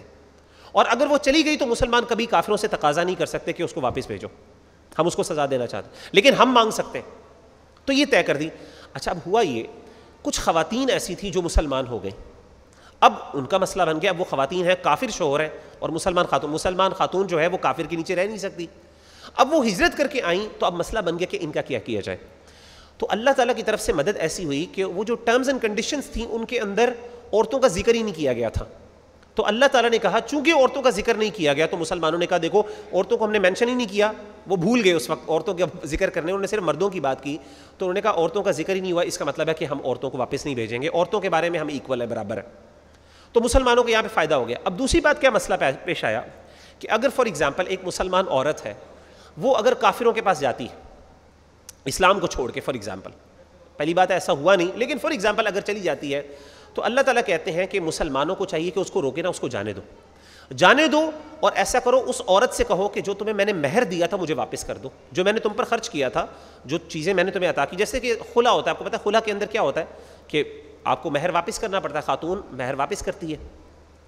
تو اسی طریقے سے تم ایسا کرو کہ تم چھوڑ کے جا رہی ہو، مسلمانوں کو چاہیے کہ وہ ان سے مانگ لے کہ کیا کرے کہ کر لے اسی طریقے سے اگر اپوزٹ ہو کہ کوئی کافر عورت تھی، وہ مسلمان ہوگی، اب اس کا شوہر تو ابھی کافر ہے، اب وہ مسلمانوں مسلمانوں کے پاس آتی ہے، تو اللہ کے رسول صلی اللہ علیہ وسلم نے کو اللہ نے حکم دیا کہ آپ ایسا کریں کہ ان کے شوہروں نے جو ان کے اوپر خرچ کیا، تم وہ واپس لٹا دو۔ ان سے کہو کہ ٹھیک ہے، یہ مسلمان عورت ہماری بہن ہمارے حوالے کر دیں، ہم آپ نے جو خرچ کیا ہوا ہے، ہم آپ کو واپس کر دیتے ہیں۔ اب مسئلہ یہ سوال پیدا ہوا، ایک چیز تھی، ایک اور مسئلہ جو تھا، جو یہاں پہ تیسرا مسئلہ، وہ یہ تھا کہ فار ایگزامپل مسلمانوں کو تو اللہ کا حکم ہے کہ تم نے واپس کر دینا، مسلمان تو ہمیشہ واپس کر دیتے تھے۔ پہلی بات، ایسا کوئی مسئلہ ہی نہیں آیا، کوئی عورت نان مسلم یعنی اس نے اسلام چھوڑا ہی نہیں۔ بال فرض اگر ہو جاتا تو مسلمانوں نے تو اللہ کے حکم سے وہ واپس کر دینا تھا کہ جی یعنی یعنی مسلمان، اگر کافر عورت مسلمان ہو کے آتی تو مسلمانوں جیسے ہوا بھی تو مسلمان کیا کرتے کہ وہ واپس ان کا جو مہر ادا کیا تھا، ان کے کافر شوروں نے وہ واپس کر دیتے۔ لیکن سوال یہ کہ کافروں کو کون باؤنڈ کرے گا کہ وہ کیا کرے کہ مسلمان عورت اگر کافر ہو کے جاتی ہے تو وہ واپس کریں ان کو تو کوئی باؤنڈ نہیں کرنے والا۔ تو اس صورت میں اللہ تعالیٰ نے یہ حل بتایا کہ آپ ایسا کریں کہ اگر فار ایگزامپل وہ منع کر دیتے ہیں، اگر وہ منع کر دیتے ہیں کہ ہم حق مہر نہیں کریں گے واپس، تو پھر اس کا طریقہ یہ ہے کہ تم برابری کر لو۔ کہ جو جب ان کی عورت آئے گی، مسلمان ہو کے، تو جو تم نے پیسے دینے ہوں گے تم پہلے کاٹ کے دے دو کہ بھائی تم نے ہمارے پیسے نہیں دیے تو ہم بھی تمہیں نہیں دیں گے واپس۔ ہم اتنا دیں گے، ہم کمپنسیٹ کر کے دیں گے۔ تو بہرحال یہ تھوڑا سا مسئلہ ہے، یہ اس طریقے سے اللہ تعالیٰ نے حل کیا۔ وہ انفاط کم شی امن ازواجی کم الکفاری یہ اللہ تعالیٰ ذکر کر رہے ہیں وہ انفاط کم امن ازواجی کم الکفاری اگر کفار کی طرف تمہاری بیویوں میں سے کوئی تمہارے ہاتھ سے نکل جائے فعاقب تم تو تم کفار کو سزا دو۔ فعات الدین ذہبت ازواجہم مثل ما انفقو پس جن کی عورتیں جاتی رہی ہیں ان کو دو جس قدر انہوں نے خرچ کیا ہو۔ وطق اللہ الذي انتم به مؤمنون۔ اور اللہ سے ڈرو جس پر تم ایمان رکھتے۔ یعنی وہی بات ہے، برابری کر لو کہ اگر وہ تمہارا حق واپس نہیں کرتے تو تم ایسا کرو، جب تمہاری دینے کی باری آئے تو اس وقت تم کاٹ کر کے اپنا جو حق تمہارا رہتا ہے وہ دے کر تم کیا کرنا، اس کو ادا کر لو۔ وہ لے کر تم ان کو بقیہ رقم ادا کر دینا۔ یا ایوہ النبی، اے نبی، اذا جاءک المؤمنات، جب آپ کے پاس آئیں مومن عورتیں، یبایعنک آپ سے بیعت کرنے کے لیے اللہ اللہ یشرک نب اللہ کس چیز پر؟ کہ وہ نہیں شریک کریں گی اللہ کے ساتھ کسی چیز کو۔ ولا یسرقنا نہ وہ چوری کریں گی ولا یزنینا اور نہ زنا کریں گی ولا یقت اللہ اولادہن اور نہ اپنی اولاد کو قتل کریں گی ولا یاتین ببہتان یفترینہ بین ایدیہن و ارجلہن اور نہ وہ بہتان لائیں گی جو انہوں نے اپنے ہاتھوں اور اپنے پاؤں کے درمیان باندھا ہوگا۔ ولا یعصینک فی معروف اور وہ آپ کی نافرمانی نہیں کریں گی نیک کاموں میں فبا یہ تو آپ ان سے بیت لے لیں وسطف اللہ اللہ اور معافر ان کے لیے استغفار کریں اللہ تعالیٰ سے۔ ان اللہ غفور الرحیم بے شک اللہ تعالیٰ بخشنے والے اور رحم کرنے والے۔ یعنی نبی صلی اللہ علیہ وسلم نے بیت کی، اور حدیث میں آدھا سیدہ عائشہ نے فرمایا اس آیت کے بارے میں کہ اللہ کے رسول صلی اللہ علیہ وسلم نے کبھی کسی عورت کو ہاتھ نہیں لگایا، آپ منہ سے بیت لیتے تھے۔ اور آپ نے کن چیزوں پر بیت لی؟ اصل میں خواتین اس زمانے میں جن گناہوں میں عام طور پہ ملوث تھیں، ان کا ذکر یہاں پہ کیا۔ خاص طور پہ ان چیز کو پوائنٹ آؤٹ کیا۔ ان کے اندر کچھ کمیاں تھیں اس زمانے میں جو خواتین تھیں، ایک تو شرک تھا، زنا بہت کرتی تھیں، زنا کے اندر انوالو ہوتی تھیں۔ اسی طریقے سے وہ کیا کرتی تھیں کہ چوری کرتی تھیں بہت زیادہ۔ چوریاں کرتی تھیں۔ اور اسی طریقے سے وہ بہتان بہت زیادہ باندھتی تھیں بہتان ایک بہتان تراشی ایک دوسرے پر یعنی الزامات بہت لگاتی تھی غلط۔ تو اللہ تعالیٰ نے ان چیزوں سے منع کیا کہ اگر وہ ان چیزوں سے توبہ کریں، اور جس میں سب سے پہلے سر فہرست کیا ہے شرک سے باز آئیں گی، تو آپ ایسا کریں، ان سے کیا کر لیں بیت لے لیں، اللہ تعالیٰ بخشنے والے اور رحم کرنے والے۔ یا ایوہ الذین آمنوا، اے ایمان والو، لا تتولوا قوما غضب اللہ علیہم، تم ان لوگوں سے دوستی نہ رکھو جن پر اللہ نے غضب کیا۔ قد یئسوا من الاخرہ وہ آخرت سے مایوس ہو چکے ہیں۔ کما یئس الکفار من اصحاب القبور جیسے کہ کافر جو ہے وہ قبر سے جی اٹھنے کے بارے میں مایوس ہو چکے ہیں۔ تو یہاں پہ ہمارے انشاءاللہ دس پارہ مکمل ہوا، تو بقیہ ہم انشاءاللہ تراوی کے بعد اگلے حصے میں کریں گے۔ بسم اللہ۔ ہم سورت سب سے آغاز کر رہے ہیں۔ بسم اللہ، سورہ مدنی صورت ہے۔ بسم اللہ الرحمن الرحیم۔ سبح للہ ما فی السماوات و ما فی الارض۔ جو کوئی بھی آسمان اور زمین میں ہے، آسمانوں میں اور زمین میں ہے، وہ اللہ تعالیٰ کی تسبیح بیان کرتا ہے۔ وهو العزیز الحکیم، وہ غالب ہے اور حکمت والا ہے۔ یا ایوہ الذین آمنوا، اے ایمان والو، لم تقولون ما لا تفعلون؟ کیوں تم کہتے ہو جو تم کرتے نہیں ہو؟ کبور مقتا عند اللہ۔ اللہ کے نزدیک یہ بڑی ناپسندیدہ بات ہے۔ ان تقولوا ما لا تفعلون، کہ تم وہ کہو جو تم خود نہیں کرتے۔ ان اللہ يحب الذين يقاتلون في سبيله صفا۔ بے شک اللہ تعالی محبت کرتا ہے ان لوگوں سے جو اللہ کے رستے کے اندر قتال کرتے ہیں، لڑتے ہیں، صف بنا کر۔ كانهم بنيان مرصوص جیسا کہ وہ ایک عمارت ہے، سیسا پلائی ہوئی مضبوط عمارت۔ یعنی پلاسٹرڈ جو عمارت ہوتی ہے، سیمنٹڈ، اس طرح کی مضبوط عمارت کی طرح وہ لڑتے ہیں اور صف بناتے ہیں۔ وہ قال موسیٰ علیہ قومی ہی اور جب موسیٰ علیہ السلاۃ والسلام نے اپنی قوم سے کہا، یا قومی اے میری قوم لمت ادوننی تم مجھے کیوں تکلیف دیتے ہو؟ وقت تعلمون، اور یقیناً تم جان چکے ہو انی رسول اللہ علیکم کہ میں اللہ کا تمہاری طرف بھیجا گیا رسول ہوں۔ فلما زاغو پس جب وہ ٹیڑے ہو گئے سیدھے رستے سے ازاغ اللہ قلوبہم اللہ تعالیٰ نے ان کے دلوں کو بھی ٹیڑھا کر دیا سیدھے رستے سے۔ واللہ لا يهدي القوم الفاسقین اور اللہ تعالیٰ فاسق قوم کو ہدایت نہیں دیتے۔ وہ قال عیسیٰ بن مریم اور جب کہا عیسیٰ بن مریم یعنی مریم کے بیٹے عیسیٰ علیہ السلاۃ والسلام نے اپنی قوم سے، یا بنی اسرائیل، اے بنی اسرائیل، انی رسول اللہ علیکم، بے شک میں اللہ کا رسول ہوں تمہاری تمہاری طرف۔ مصدق لما بین یدی من التوراہ اس کی تصدیق کرنے والا ہوں جو مجھ سے پہلے تورات آئی۔ وہ مبشرم برسول، اور ایک رسول کی خوشخبری دینے والا ہوں، یأتی من بعدہ جو میرے بعد آئے گا، اسمہ احمد، اس کا نام احمد ہوگا۔ فلما جاءہم بالبیناتی، پھر جب وہ ان کے پاس واضح دلائل کے ساتھ آئے، وہ رسول، قالوا هذا سحر مبین، تو انہوں نے کہا یعنی بنی اسرائیل نے کہا، یہ تو کھلا جادو ہے۔ ومن اظلم، حالانکہ ان کے نبی نے، پیغمبر نے یہ آلریڈی ان کو کہہ دیا تھا۔ ومن اظلم ممن افترا علی اللہ الکذب اور کون ہے اس سے بڑھ کر ظالم جو اللہ پر جھوٹ باندھے؟ وہ یدعا الی الاسلام، جبکہ وہ اسلام کی طرف بلایا جائے۔ واللہ لا يهدي القوم الظالمین، اور اللہ تعالیٰ ظالم قوم کو ہدایت نہیں دیتے۔ یریدون لیطفئوا نور اللہ بافواہہم، وہ چاہتے ہیں کہ وہ اللہ کے نور کو بھجا دیں اپنے منہوں سے۔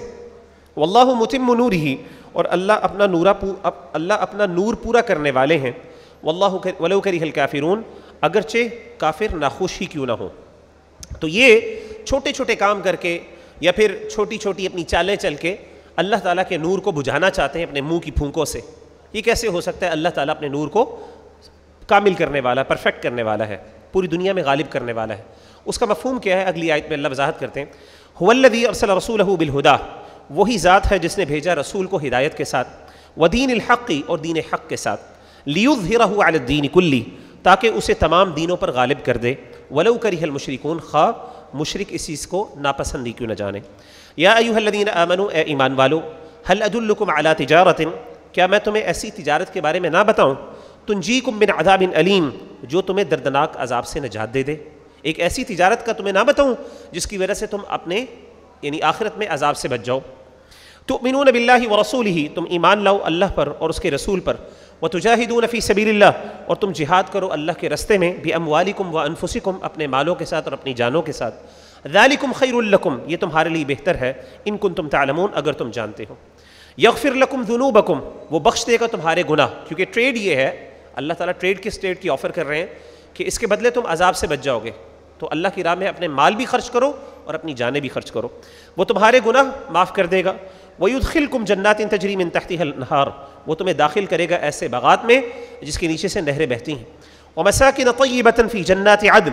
اور تمہیں پاکیزہ گھروں میں بھی داخل کرے گا۔ وہ پاکیزہ گھر جو کہ جنات عدن میں ہے۔ یعنی ہمیشہ والے، ہمیشہ رہنے والے باغات کے اندر گھر۔ ذَلِكَ الْفَوْزُ الْعَظِيمِ، یہ بہت بڑی کامیابی ہے۔ وَأُخْرَى تُحِبُّونَهَا۔ اور ایک اور بات بھی جسے تم بہت چاہتے ہو، محبت کرتے ہو۔ نصر من اللہ، وہ اللہ کی طرف سے مدد ہے۔ وہ فتح قریب اور قریبی فتح ہے۔ یعنی اللہ تعالیٰ ایک تو تمہیں جنتیں عطا کریں گے، پاکیزہ گھر عطا کریں گے، اور تمہیں دنیا کے اندر ایک قریبی فتح عطا کریں گے۔ وہ قریبی فتح کون سی مراد ہے؟ یعنی فتح مکہ، اس کا اللہ تعالیٰ نے وعدہ کیا۔ وبشر المؤمنین، اور مومنوں کو آپ خوشخبری دے دیجیے۔ یا ایوہ الذین آمنوا کونوا انصار اللہ۔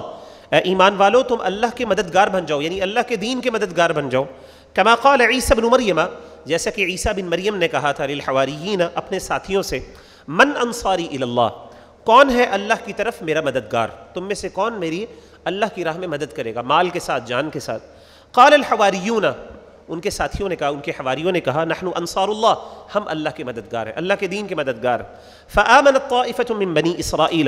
تو بنی اسرائیل میں سے ایک گروہ ایمان لے کر آیا وکفر الطائفہ اور ایک نے کفر کیا۔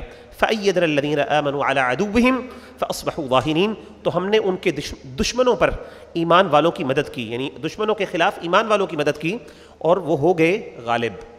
تو وہ غالب ہو گئے۔ بسم اللہ الرحمن الرحیم، آگے سورہ جمعہ ہے، یہ مدنی صورت ہے۔ بسم اللہ الرحمن الرحیم یسبح للہ ما فی السماوات وما فی الارض۔ تسبیح بیان کرتی ہے اللہ کے لیے، جو بھی آسمانوں میں اور جو زمین میں چیز ہے۔ الملک القدوس، اس اللہ کی ذات کی تسبیح بیان کرتی ہے، جو حقیقی بادشاہ ہے، جو انتہائی پاک ہے اور جو عزیز اور حکیم ہے، غالب اور حکمت والا ہے۔ ولدی باصف الامیین رسول منہم، وہی ہے جس نے امیوں میں ایک رسول انہی میں سے بھیجا۔ امی لوگ یعنی جو لوگ ایسے جن کو لکھنا پڑھنا نہیں آتا یعنی قریش میں سے اکثر لوگ امی تھے۔ ان میں سے انہی میں سے ایک رسول بھیجا، یتلو علیہم آیاتی ہی، وہ انہیں اس کی آیتیں پڑھ کر سناتا، اللہ کی وہ یوزکیم و یو الم الکتاب والحکمہ، وہ انہیں پاک کرتا ہے، ان کو سکھاتا ہے کتاب کا علم اور اسی طریقے سے حکمت۔ مراد سنت ہے یا پھر دانش مندی ہے۔ وہ انکان من قبل رفیع ضلال مبین یقیناً یہ لوگ اس سے پہلے کھلی گمراہی میں تھے۔ وہ آخرین منہم لما الحقوبہم اور ان کے علاوہ ان کو بھی جو ابھی ان سے نہیں ملے وہ العزیز الحکیم اور وہ غالب اور حکمت والا ہے۔ یعنی اور بھی قومیں جو ابھی تک مسلمان نہیں ہوئی، جن تک دعوت نہیں پہنچی، ان کے لیے بھی نبی صلی اللہ علیہ وسلم کیا ہے؟ ایک نبی ہے ذالک فضل اللہ، یہ اللہ کا فضل ہے یؤتی من یشاء، وہ جس کو چاہتا ہے، عطا کرتا ہے۔ واللہ ذو الفضل العظیم، اور اللہ تعالیٰ بہت بڑے فضل والے ہیں۔ مثل الذین حملوا التوراۃ، ان لوگوں کی مثال جن پر تورات کا بوجھ ڈالا گیا، جن کو تورات کی ذمہ داری دی گئی۔ ثم لم يحملوها پھر انہوں نے اس کا حق نہیں ادا کیا، اس کو بوجھ کو، اس ذمہ داری کو نبھایا نہیں۔ ان کی مثال کیسی ہے؟ کہ مثل الحمار، ایک گدے کی مثال ہے۔ یحمل اسفارا، جس پر کتابیں لادی، جس نے کتابیں اٹھائی ہوئی یعنی وہ بندہ جس کو اللہ کا دین مل جائے، کتاب مل جائے، لیکن وہ اس سے فائدہ نہ اٹھائے، وہ مسلمان بھی ہو سکتا ہے۔ اس کو فائدہ نہ اٹھائے، اس دین سے، اس کی مثال اس گدے کی ہے، جس کے، جس نے کتابیں اٹھائی ہوئی ہیں۔ کیا اس سے کچھ فائدہ اٹھا سکتا ہے؟ کچھ بھی نہیں اٹھا سکتا۔ بئس مثل القوم ان لوگوں کی حالت بری ہے ان کی مثال بہت بری ہے الذین کذبوا بآیات اللہ جنہوں نے اللہ کی آیات کو جھٹلایا واللہ لا يهدي القوم الظالمین اور اللہ نہیں ہدایت دیتا ظالم لوگوں کو قل یا ایھا الذین ہادو کہہ دیجئے اے لو اے یہودیو ان زعمتم اگر تمہیں خیال ہے انکم اولیاء للہ کہ تم اللہ کے بڑے قریبی ولی ہو دوست ہو ساتھی ہو من الموت، تو تم ایسا کرو، موت کی تمنا کرو۔ ان کن تم صادقین، اگر تم سچے ہو۔ یہ آیت پہلے بھی ہم شروع میں یعنی پڑھ چکے ہیں اس طرح کی۔ ولا يتمنونه ابدا اور وہ کبھی بھی تمنا نہیں کریں گے اس چیز کی۔ بما قدمت ایدیہم کیوں نہیں تمنا کریں گے؟ حالانکہ منہ سے کہتے ہیں ہم اللہ کے بڑے قریبی ہیں۔ تو بھئی موت کی تمنا کرو، کیوں نہیں کریں گے؟ بما قدمت ایدیہم جو ان کے ہاتھوں نے آگے بھیجا اس کی وجہ سے، جو اعمال کیے ان کے ہاتھوں نے اس کی وجہ سے کبھی بھی موت کی تمنا نہیں کریں۔ واللہ علیم بالظالمین اور اللہ تعالیٰ خوب علم رکھتے ہیں ظالموں کو۔ ظالموں کے بارے میں علم رکھتے ہیں، ان کو جاننے والے۔ کل ان الموت الذي تفرون من۔ اے نبی صلی اللہ علیہ وسلم، فرما دیجیے، بے شک موت جس سے تم بھاگتے ہو۔ فانه ملاقيكم، تو بے شک وہ تمہیں ملنے والی ہے، وہ تمہیں پکڑنے والی ہے۔ ثم تردون الى عالم الغیب پھر تم لٹائے جاؤ گے ایسی ذات کی طرف۔ جو غیب کو جاننے والی ہے، وہ شہادہ اور ظاہر کو بھی جاننے والی ہے۔ فیونبی حکم پس وہ تمہیں خبر دے گا، تمہیں بتائے گا بما کن تم تعملون، ان اعمال کے بارے میں جو تم دنیا میں کیا کرتے تھے۔ یا ایوہ الذین آمنوا، اے ایمان والو، اذا نودی للصلاة، جب نماز کی طرف بلایا جائے تمہیں۔ من یوم الجمعہ، جمعے کے دن کی نماز، جمعے کی جو اذان ہے، وہ جب دی جائے فسعوا الى ذکر اللہ، تو تم کیا کرو؟ فوراً اللہ کی یاد کی طرف لب کو بھاگو۔ کوشش جلدی کرو۔ وزر البیع اور اپنی خرید و فروخت، اپنی تجارت کو کچھ دیر کے لیے چھوڑ دو۔ ذالکم خیر لکم، یہ تمہارے لیے بہتر ہے۔ ان کو تم تعلمون، اگر تم جانتے ہو۔ یہ حکم صرف جمعے کی نماز کے لیے نہیں ہے، یہ ہر حکم، ہر نماز کے لیے۔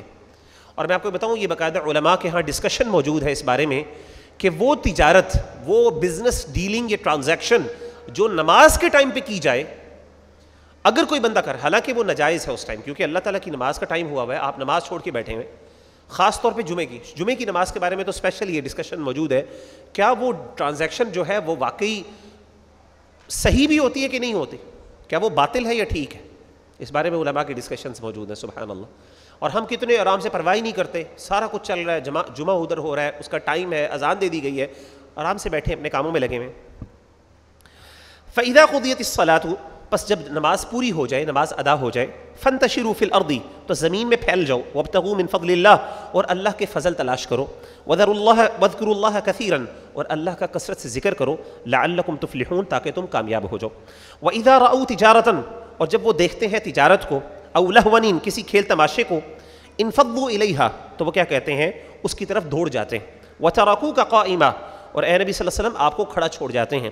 قل ما عند اللہ خیر اے نبی صلی اللہ علیہ وسلم، فرما دیجیے، جو اللہ کے پاس ہے وہ بہتر ہے۔ من اللہ و من التجارہ۔ کھیل تماشے سے اور تجارت سے۔ واللہ خیر الرازقین، اللہ تعالیٰ بہترین رزق دینے والے۔ تو اللہ تعالیٰ، نبی صلی اللہ علیہ وسلم کے دور میں ایک واقعہ یہ ہوا۔ آپ صلی اللہ علیہ وسلم ایک دفعہ جمعہ پڑھا رہے تھے، تو ایک تجارتی قافلہ آیا۔ تو جیسے ہی آیا، سارے صحابہ، حالانکہ نماز جمعہ جمعہ چل رہا ہے اور آپ خطاب فرما رہے ہیں، صحابہ چھوڑ کے نبی صلی اللہ علیہ وسلم کو کھڑا چھوڑ کے چلے گئے، سوائے کوئی دس بارہ صحابہ رہ گئے پیچھے۔ باقی سارے چلے گئے اور جا کے تجارت بزنس ڈیلنگ کرنا شروع کر دی۔ ان کو پتہ ہی نہیں تھا کہ یہ اس طرح کرنا ناپسندیدہ ہے۔ تو اللہ تعالیٰ نے بڑی سختی سے ڈانٹا اور ان کی تربیت کی کہ یہ طریقہ ٹھیک نہیں ہے۔ یہ اس کے بعد کریں آپ، ٹھیک ہے۔ اور یہ کھیل تماشا اور یہ تجارت، یہ تمہارے لیے بہتر نہیں، اللہ کا ذکر تمہارے لیے بہت بہتر۔ آگے منافقون صورت المنافقون ہپوکریٹس کے بارے میں ہے، مدنی صورت ہے۔ بسم اللہ الرحمن الرحیم۔ اذا جاءک المنافقون، جب منافق آپ کے پاس آتے ہیں قالو نشہد انک لرسول اللہ وہ آپ کو کہتے ہیں، نبی صلی اللہ علیہ وسلم، ہم گواہی دیتے ہیں کہ آپ اللہ کے رسول واللہ یعلم انک لرسول اللہ جانتا ہے، یقیناً آپ اس کے رسول ہیں۔ واللہ یشہد ان المنافقین لکاذبون۔ لیکن اللہ تعالیٰ یہ بھی گواہی دیتے ہیں کہ بے شک منافق جو ہیں وہ جھوٹیں اتخذوا ایمانہم جنتن انہوں نے اپنی قسموں کو ڈھال بنا لیا۔ فصدوا عن سبیل اللہ پس وہ دوسروں کو اللہ کے رستے سے روکتے انہم ساء ما كانوا يعملون بے شک بہت برے ہیں کام جو، بہت برے کام ہیں جو وہ کرتے۔ ذالک بھی انہم آمنوا ثم کفروا، یہ اس لیے ہے کہ وہ ایمان لائے، پھر انہوں نے کفر کیا۔ فطبع على قلوبہم، تو ان کے دلوں پر مہر لگا دی گئی۔ فہم لا یفقہون، تو وہ سمجھتے نہیں۔ یعنی جو بندہ ایمان لانے کے بعد پھر برائی کی طرف جاتا ہے، خاص طور پہ کفر کی طرف جاتا ہے، تو ایسے دلوں کے اوپر اللہ تعالیٰ مہر لگا دیتے ہیں۔ پھر ان کو حق سمجھ نہیں آتی۔ جیسے میں نے آپ کو پہلے بھی ذکر کیا، وہ بندہ جو دین میں آنے کے بعد دین سے بھاگتا ہے، دور جاتا ہے، پھر اللہ تعالیٰ اس کو کم ہی ہدایت دیتے ہیں، پھر اس کے دلوں پہ مہر لگ جاتی وہ ادارہ آئی تو ہم تو عجیب کو اجسام اور اے نبی صلی اللہ علیہ وسلم، جب آپ ان کو دیکھیں گے، تو ان کے جسم آپ کو اچھے لگیں گے یعنی بڑے خوبصورت جسم والے ہوں گے۔ وہ ان یقول تسم علیہ اور اگر وہ بات کریں گے، تو آپ ان کی باتوں کو سنتے ہی رہ جائیں گے۔ کا ان خوشب مسندہ گویا کہ وہ لکڑی ہیں جو دیوار کے ساتھ ٹیک لگائے ہوئے ہیں۔ یہ سبون کل علیہم وہ ہر بلند آواز کو اپنے اوپر گمان کرتے ہیں. ہم العدو، وہی دشمن ہے فحذرہم پس آپ ان سے بچ جائیے. قاتلہم اللہ اللہ ان کو غارت کرے. انا یؤفکون، کیسے وہ پھرے جاتے ہیں؟ کہاں وہ پھرے جاتے ہیں؟ تو یعنی بظاہر کفا منافقین جو ہے جو خاص طور پہ عبداللہ بن ابئی کے بارے میں مفسرین بیان کرتے ہیں، شکل و صورت کا بڑا خوبصورت تھا. اور جب بات بڑی جب کرتا تھا، تو لوگ حیران ہو جاتے تھے، یار، کیا خوبصورت انداز میں بات کرنے والا ہے؟ اسی وجہ سے بڑا انفلوئنشل بھی تھا وہ. لیکن حقیقت میں اس کی مثال ایسی تھی ایک خشک لکڑی کی طرح۔ ایسی لکڑی جس کو دیوار کے ساتھ لگایا ہوا ہے۔ یعنی وہ سکھی ہوئی لکڑی ہے جس کا کوئی فائدہ نہیں۔ کمزور لکڑی ہے۔ بے بنیاد ہے۔ ناکارہ چیز ہے۔ اللہ نے اس کی مثال ایسی دی۔ بظاہر وہ بہت خوبصورت ہے۔ بظاہر اس کی باتیں آپ کو بڑی اچھی لگتی ہیں۔ تو اس سے مطلب یہ پتہ چلا کہ صرف بات کرنے کا انداز، بظاہر، ظاہر یہ جو شکل و صورت ہے، یہ میٹر نہیں کرتی۔ اصل چیز جو سبجیکٹ میٹر ہے، جو کانٹینٹ ہے جو بات کے اندر اصل اثر تبھی ہوتا ہے جب وہ بات حق کی ہو۔ جھوٹی بات کو آپ جتنا مرضی خوبصورت بنا لیں، وہ ایک خشک لکڑی کی طرح ہے اور منافقین بھی اس طریقے سے خشک لکڑیوں کی طرح۔ وہ ادا قیل الحم تعالو اور جب ان سے کہا جاتا ہے تم آؤ یستغفر لکم رسول اللہ تمہارے لیے اللہ کے رسول کیا کریں؟ استغفار کریں۔ لو رؤوسہم وہ پھیر لیتے ہیں اپنے سروں کو۔ ورائیتہم یسدون اور آپ انہیں دیکھیں گے کہ وہ منہ پھیر لیتے ہیں وہ مستقبرون اور وہ بڑے ہی تکبر کرنے والے۔ سوا ان علیہم استغفرت لهم ام لم تستغفر لهم برابر ہے ان پر۔ آپ ان کے لیے استغفار کریں یا ان کے لیے استغفار نہ کریں۔ لن یغفر اللہ لهم اللہ تعالیٰ کبھی ان کو معاف نہیں کریں گے۔ ان اللہ لا يهدي القوم الفاسقین، کیونکہ اللہ تعالیٰ نہیں ہدایت دیتے فاسق قوم کو۔ هم الذين يقولون یہی وہ لوگ ہیں جو کہتے ہیں، لا تنفقوا على من عند رسول اللہ۔ تم لوگوں پر خرچ نہ کرو، جو اللہ کے رسول صلی اللہ علیہ وسلم کے پاس ہے۔ جو صحابہ اللہ کے رسول صلی اللہ علیہ وسلم کے ارد گرد ہیں کمزور صحابہ، ان پہ خرچ نہ کرو۔ کیوں؟ حتی ينفضوا یہاں تک کہ وہ بکھر جائیں، اس سے دور ہو جائیں۔ یعنی اگر تم ان کی فائنینشیل ایڈ نہیں کرو گی تو ایک وقت آئے گا، وہ کہیں گے، اس نبی کے ساتھ رہ رہ کے تو ہمیں فقر و فاقہ کرنا پڑتا ہے، ہمیں بہت مشکلات پیش کرنی پڑتی ہیں۔ آہستہ آہستہ کیا کریں گے؟ وہ اس سے دور ہو جائیں گے۔ تو تب تک تم اس پہ خرچ نہ کرو۔ یعنی فائنینشیل کنسٹرینٹس کرو، ان کے اوپر خرچ نہ کرو، ان کے لیے مشکلات کرو پیدا۔ ولی اللہ خزاں السماوات والارض ان کو یہ پتہ ہی نہیں ہے کہ آسمان و زمین کے خزانے اللہ کے ولیکن المنافقین لا يفقهون، لیکن منافق لوگ نہیں سمجھتے۔ یقولون رجعنا الى المدینہ یہ منافق کہتے ہیں، اگر ہم مدینہ کی طرف واپس لوٹ جائیں لَيُخْرِجَنَّ الْأَعَزُّ مِنْهَا الْأَذَلْ، اعوذ باللہ۔ تو معزز ترین جو شخص ہے، وہ ذلیل ترین شخص کو وہاں سے نکال دے گا مدینہ سے۔ وَلِلَّهِ الْعِزَّةُ وَلِرَسُولِ ان کو یہ پتہ ہی نہیں ہے کہ اللہ ہی کے لیے تمام عزت ہے۔ اور اللہ ہی تعالیٰ اللہ تعالیٰ کے لیے تمام عزت ہے۔ اور تمام عزت رسول کے لیے ہے۔ ولیلمؤمنین مومنوں کے لیے اللہ نے رکھی ہے۔ ولیکن المنافقین لا يعلمون۔ لیکن منافق لوگ نہیں جانتے۔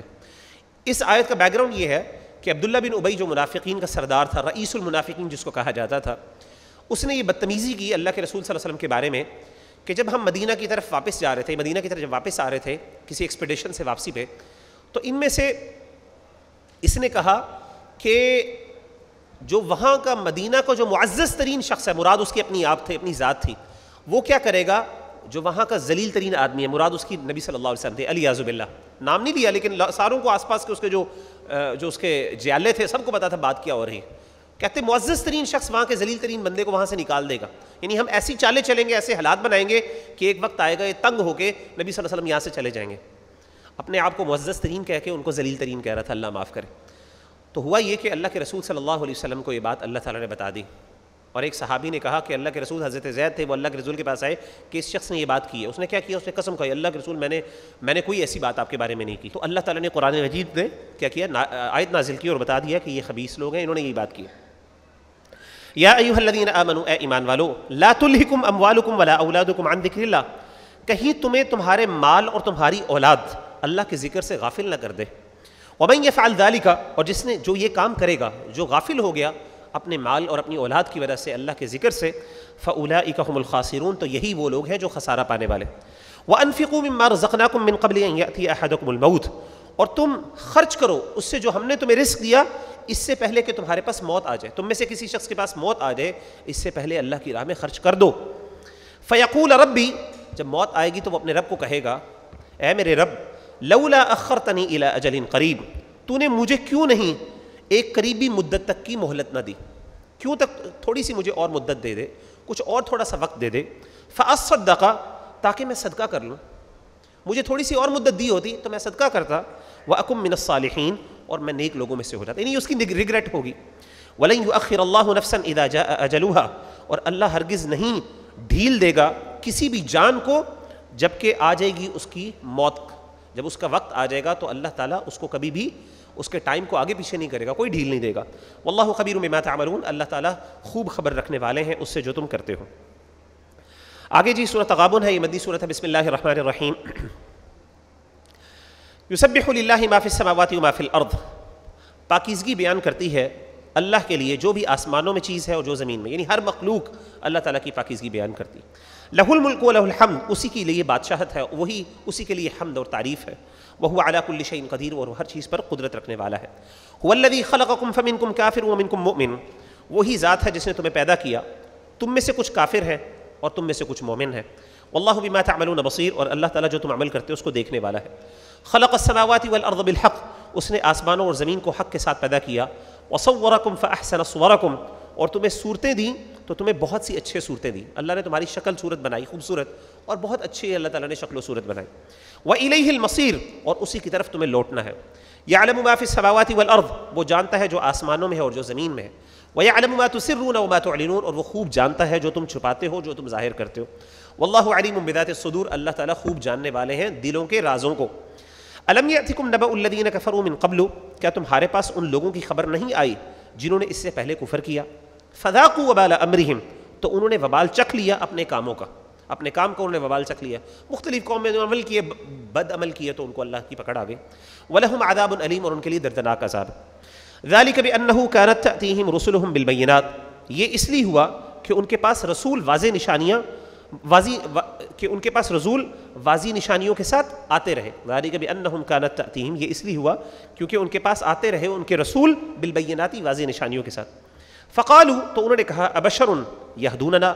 کیا ایک بشر وہ ہمیں ہمیں ہدایت دیتا ہے؟ یعنی انہوں نے کہا کہ کیا ایک انسان اور ہم جیسا بشر وہ ہمیں ہدایت دے گا؟ یہ کیسے ہو سکتا؟ فکفر انہوں نے کفر کیا وہ اور وہ پھر گئے وسطن اللہ اور اللہ تعالیٰ نے بے نیازی فرمائی ان سے۔ اللہ تعالیٰ نے بھی ان کو اگنور کیا، اللہ تعالیٰ بھی اس سے غنی ہو گیا اور مستغنی ہو گیا۔ واللہ غنی حمید، اللہ تعالیٰ بہت بے نیاز ہے اور قابل تعریف ہے۔ زعم الذین کفروا ان لن گمان کیا یا دعویٰ کیا ان لوگوں نے جنہوں نے کفر کیا کہ وہ ہرگز اٹھائے نہیں جائیں گے یعنی دوبارہ زندہ نہیں کیے جائیں گے۔ قل بلا، اے نبی فرما دیجیے کیوں نہیں؟ وربی، میرے رب کی قسم لیبعثن لتبعثن، تم ضرور اٹھائے جاؤ گے۔ ثم لتنبؤن بما عملتم، پھر تم ضرور خبر دیے جاؤ گے۔ اس چیز کی تو تم عمل کرتے ہو، جو تم عمل کرتے ہو، اس کے بارے میں تم خبر دیے جاؤ گے۔ وذلك على الله يسير، اور یہ اللہ تعالیٰ پر بہت آسان ہے۔ فآمنوا باللہ ورسولہ بس تم ایمان لاؤ اللہ پر اور اس کے رسول صلی اللہ علیہ وسلم پر۔ والنور الذي انزلنا، اور اس نور پر جو ہم نے نازل کیا یعنی قرآن مجید۔ واللہ بما تعملون خبیر، اور اللہ تعالیٰ جو تم عمل کرتے ہو، اس کو اس کو، اس کی خبر رکھنے والا ہے۔ یوم یجمعکم لیوم الجمع، جس دن وہ جمع کرے گا تمہیں جمع ہونے کے دن۔ تو قیامت کا دن ایک یوم الجمع بھی ہے یعنی جمع ہونے کا دن۔ ذالک یوم التغابن، وہ تغابن کا دن، تغابن کہتے ہیں نقصان اٹھانے کا دن۔ یعنی غبن کہتے ہیں کسی کو نقصان دینا اور اس کی وجہ سے فیصل یعنی کسی کا نقصان کر کے اپنا فائدہ نکال لینا۔ اسے کہتے ہیں غبن کرنا۔ اور تغابن کا مطلب ہے آپس میں نقصان۔ یعنی وہاں پہ اس دن کچھ نہ کچھ کچھ لوگوں کو نقصان ہو رہا ہوگا، کچھ کو فائدہ ہو رہا ہوگا۔ تو یوم التغابن اس کو کہتے ہیں۔ قیامت کا ایک نام یوم التغابن بھی ہے۔ ومن یؤمن باللہ، اور جو ایمان لائے اللہ پر، ویعمل صالحا، اور اس نے نیک عمل کیے یکفر عنہ سیئات ہی وہ اللہ اس سے اس کی برائیاں دور کر دے گا۔ ویدخلہ جنات تجری من تحتها الانہار اور اسے داخل کرے گا ایسے باغات میں جس کے نیچے سے نہریں بہتی ہیں۔ خالدین فیہا ابدا، وہ اس میں ہمیشہ ہمیشہ رہیں گے۔ ذالک الفوز العظیم، یہ بہت بڑی کامیابی ہے۔ والذین کفروا وکذبوا بآیاتنا وہ لوگ جنہوں نے کفر کیا اور ہماری آیتوں کو جھٹلایا۔ اولئک اصحاب النار خالدین فیہا یہی لوگ ہیں دوزخ والے جو اس میں ہمیشہ ہمیشہ رہیں گے۔ وبئس المصیر اور بہت برا ٹھکانہ ہے۔ ما اصاب من مصیبت الا باذن اللہ کوئی مصیبت نہیں پہنچتی مگر اللہ تعالیٰ کی اجازت سے۔ کوئی تکلیف آتی ہے وہ اللہ کے حکم سے آتی ہے۔ ومن یؤمن باللہ یہدی قلبہ اور جو ایمان لاتا ہے اللہ پر، اللہ اس کے دل کو ہدایت دے دیتا۔ ہے اصل ہدایت تو دل کی ہدایت ہوتی ہے۔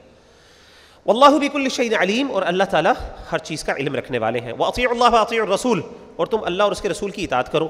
فان تولیتم پھر اگر تم پھر گئے، تم نے اگر منہ موڑا فانما على رسولنا البلاغ المبین تو بے شک ہمارے رسول کے ذمے صرف واضح طور پہ پہنچا دینا۔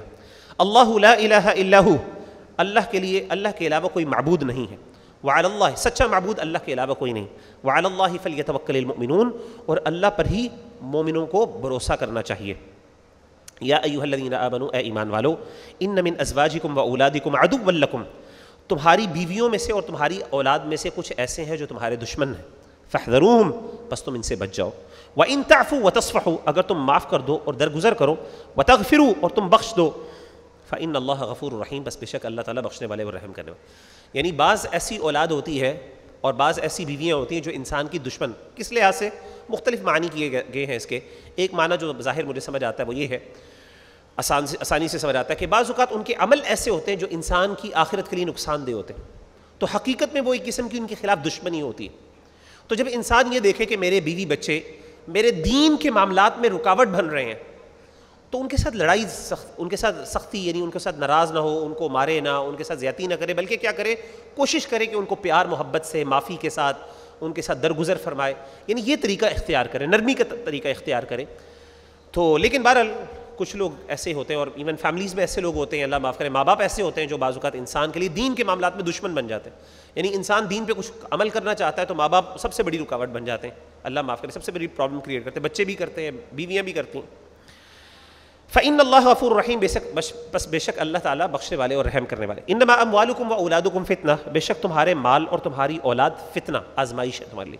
کیا مطلب ہے آزمائش؟ یعنی اس سے تم ٹیسٹ کیے جاتے ہو. انسان بہت سے کام اپنے اپنے بچوں کے لیے، اپنی فیملی کے لیے اور مال کے حصول کے لیے بعض اوقات انسان بہت سے کمپرومائزز کر لیتا ٹھیک ہے نا؟ بہت جگہوں پہ انسان کمپرومائز کر رہا ہے. دین کو بھی چھوڑ دیتا ہے، نمازوں کو چھوڑ دیتا ہے، بیوی بچوں کا خیال رکھ کے۔ واللہ عنده اجر عظیم، جبکہ اللہ کے پاس کیا ہے؟ بہت بڑا اجر۔ فتقوا اللہ واستطعتم جتنی تمہاری استطاعت ہے، اتنا اللہ سے ڈرو۔ جتنا تم دین پر عمل کر سکتے ہو، اس پہ کرو۔ واسمعوا، اور تم سنو۔ واطیعوا اور اطاعت کرو۔ وانفقوا خیرا لانفسکم اور تم خرچ کرو، یہ تمہارے لیے بہتر ہے۔ ومن یوق شح نفسه، اور جو اپنی جان کی بخیلی سے بچ گیا، جو اپنی جان کی کنجوسی سے بچ گیا فاولئک هم المفلحون۔ یہی لوگ ہیں جو کامیاب ہیں۔ یعنی جو بخل سے بچ گیا، اس نے اپنے آپ کو فائدہ پہنچا دیا۔ ان تقرض اللہ قرضا حسنا، اگر تم اللہ کو قرض حسنا دو گے، یضاعف لکم، وہ تمہارے لیے اس کو کئی گنا کر دے گا، دو گنا کر دے گا۔ ویغفر لکم، اور تمہیں بخش دے گا۔ واللہ شکور حلیم، اللہ بہت قدر کرنے والے ہیں اور حلیم بردبار ہیں۔ عالم الغیبی، وہ جاننے والا ہے غیب کو وہ شہادتی اور ظاہر کو۔ العزیز الحکیم، غالب بھی ہے اور حکمت والا بھی۔ آگے صورت طلاق ہے، یہ مدنی صورت ہے، اس میں اللہ تعالیٰ کچھ طلاق کے احکامات کا ذکر کریں گے۔ اس کی تفصیل ویسے ہم نے پہلے اس بارے میں بہت ڈیٹیل سے پڑھ لی ہے تو اس لیے میں جلدی سے اس کو مینشن کروں گا۔ یا ایوہ نبی اے نبی، اذا طلقتم النساء، جب تم اپنی عورتوں کو طلاق، جب تم عورتوں کو طلاق دو فطلقوهن لعدتهن تو انہیں ان کی عدت کے وقت طلاق دو۔ یعنی جب طلاق دینی ہے، تو حالت طہر کے اندر عدت یعنی طلاق دینی ہے۔ اور ایسی حالت کے اندر جس میں انسان نے اپنی بیوی سے ہم بستری نہ کرنی۔ یعنی کبھی بھی حیض کی حالت میں طلاق نہیں دینی چاہیے۔ طلاق ہمیشہ دینی چاہیے۔ دیکھیں، اللہ تعالیٰ نے اس کے پیچھے بہت حکمتیں موسٹ آف دا ٹائم طلاق دی جاتی ہیں غصے کے اندر۔ اور انسان غصے سے پاگل ہو رہا ہوتا ہے اور طلاق دے دیتا ہے۔ سوچتا نہیں ہے اس کے لیے۔ اللہ تعالیٰ کہتے ہیں کہ تم نے طلاق دینی ہے تو سوچ سمجھ کے دو۔ اس کے لیے ایک ٹائم مقرر کیا باقاعدہ۔ تاکہ جب انسان طلاق دے تو پھر بصیرت سے دے، صرف غصے میں نہ آ کے دے۔ اس کو ٹائم دیا کہ اچھا ٹھیک ہے، ایسا کرو، تم طلاق دینا چاہتے ہو، کوئی بات ویٹ کرو۔ پاکیزہ حالت میں جب وہ یعنی وہ حیض کی حالت میں نہ ہو، اپنے ایام میں نہ ہو، تب دو، اور ضروری ہے اس سے پہلے تم نے اس کے ساتھ ہم بستری نہ کی ہو، تب دو طلاق، سوچ سمجھ کے۔ وہ احسل عدہ اور تم عدت کو شمار رکھو یعنی عدت کی گنتی کا شمار رکھو۔ وہ تق اللہ اللہ سے ڈر جاؤ۔ ربکم جو تمہارا رب ہے، لا تخرجوہن من بیوتہن طلاق دینے کے بعد ان کو ان کے گھروں سے باہر نہ نکالو۔ ہمارے اللہ معاف کرے، طلاق کے بعد دھکے دے کے عورتوں کو گھر سے باہر نکال دیا جاتا ہے۔ بلکہ خواتین بھی خود بھی نہیں رہتی، سیدھی سی بات ہے۔ اللہ کہتے ہیں ان کو گھر سے باہر نہیں نکالنا۔ ولا یخرجنا نہ وہ خود باہر نکلیں۔ نہ تم نکالو، نہ وہ خود گھر سے باہر نکلیں۔ اللہ یاتین بفاحشۃ مبینہ مگر یہ کہ وہ کھلی بے حیائی کا ارتکاب کریں۔ اگر کوئی کھلی بے حیائی کا کام کیا، اللہ معاف کرے۔ اور ایسا کوئی بہت بڑا گناہ و جرم کیا ہے، تو پھر مخصوص حالات کے اندر ان کو آپ کہہ سکتے ہیں کہ آپ اپنے گھر میں جا کے اپنی عدت پوری کریں۔ ورنہ اصولی طور پہ عدت جو ہے وہ شوہر کے گھر میں پوری کی جاتی ہے۔ وطیل کا حدود اللہ، یہ اللہ کی حدود ہے۔ ومن يتعد حدود اللہ، اور جو اللہ کی حدود سے آگے نکلے گا، ان کی باؤنڈریز کو کراس کرے گا۔ فقط ظلم نفسه، تو اس نے اپنی جان پر ظلم کیا۔ لا تدری، تمہیں نہیں پتا۔ لعل اللہ يحدث بعد ذلك امرا ممکن ہے اللہ اس کے بعد رجوع کی کوئی اور بات پیدا کر دے اللہ نے حکمت بتا دی کہ گھر میں کیوں رکھنا ہے؟ کیونکہ جب انسان اپنی بیوی کو دیکھے گا، اپنے بیڈ روم سے نہیں نکالنا ہاں بیڈ روم اپنا بیڈ علیحدہ کر دو۔ سونے کی جگہ علیحدہ کر دو، لیکن اس کو بیڈ روم سے باہر نہیں نکالنا۔ تو اللہ کہتے ہیں کہ عین ممکن ہے کہ جب تم میاں بیوی اپنے اس ٹائم پیریڈ کے اندر ہوں گے تو ہو سکتا ہے عدت کے دوران ان کی واپس میں آپس میں نبھا لیں، اپنی غلطیوں کو اوور کم کر لیں اور اسی طریقے سے ان کا آپس میں دوبارہ ری یونین ہو جائے۔ تو اس میں حکمت ہے بہت۔ ظاہر ہے جب دور رہیں گے، وہ اپنے گھر میں رہے گی، آپ ادھر رہیں گے، کڑتے رہیں گے، آپ کے دل میں بھی غصہ، اس کے دل میں بھی غصہ۔ تو ری یونین کے ریکنسیلیشن کے چانسز بہت کم ہو جاتے ہیں۔ لیکن جب انسان بیوی کو دیکھ رہا ہے وہ بھی دیکھ رہی ہے۔ ظاہر انسان کو نرمی آ جاتی ہے، دل میں محبت بھی آ جاتی ہے، بیوی کے دل میں بھی آ جائے گی۔ تو انسان پھر سوچتا ہے کہ یار کوئی بات نہیں کمپرومائز کرتے ہیں، غلطی ہو گئی۔ انسان اپنے آپ کو امپروو کرنے کی کوشش کرتا ہے، آگے سے بہتر۔ تو اس میں بہت حکمت ہے۔ اللہ چاہتے ہیں کہ میرا بندہ جو ہے وہ کوشش کرے کہ اپنے آپ کو اس تعلقات کو ختم نہ ہونے دے، ان تعلقات کو۔ فعیدہ بلغ اجلہ جب وہ اپنے وقت کو پہنچ جائیں یعنی اپنی عدت کو پورا کر لیں فم سکون نبی معروف تو ان کو روک لو اچھے طریقے سے۔ معروف طریقے سے روک لو، او فارق نبی معروف یا پھر ان کو ایسا کرو کہ اچھے طریقے سے رخصت کر دو، یا جدا کر دو۔ یعنی جب عدت پوری ہو گئی، اب تمہارے پاس آپشن ہے۔ عدت پورے ہونے سے پہلے پہلے آپ کیا کرو، یا تو اس کو اپنے پاس روک لو، رجوع کر لو، یا ایسا کرو کہ جب عدت پوری ہو گئی، آپ پھر بھی نہیں رکھنا چاہتے، پھر بھی آپ نے سوچا کہ نہیں یار، میں نہیں رہ سکتا، تو پھر عزت کے ساتھ، اچھے طریقے کے ساتھ گھر میں رخصت کر دو۔ جس عزت کے ساتھ، جس طریقے سے عزت کے ساتھ اس کو گھر میں لائے تھے، اسی عزت کے ساتھ اس کو نکالو۔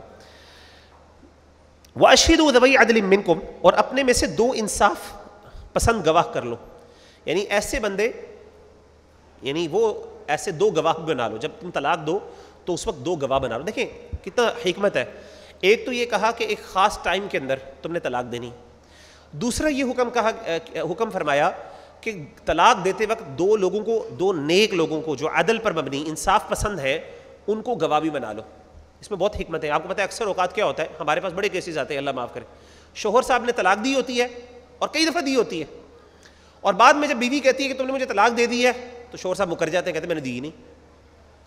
اتنے مسئلے، اب وہ بیوی بیچاری کہتی ہے، پچاس دفعہ منہ سے کہا تھا، غصے سے کہا تھا، سب کچھ کہا۔ میں نے پوچھا بھی کہ کیا؟ کہتے ہیں ہاں طلاق ہے۔ اور بعد میں جب کہتے ہیں جی میں نے تو دی نہیں۔ مجھے تو پتہ ہی نہیں تھا میں کیا کہہ رہا تھا اس ٹائم۔ اللہ معاف کرے، کس کو دھوکہ دے رہے ہیں؟ تو ایسے موقعوں پر اللہ نے بچنے کے لیے کہا کہ تم واقعی دیکھو، طلاق کھیل تماشا نہیں ہے، سیدھی سی بات۔ نہ نکاح کھیل تماشا ہے، نہ طلاق کھیل تماشا۔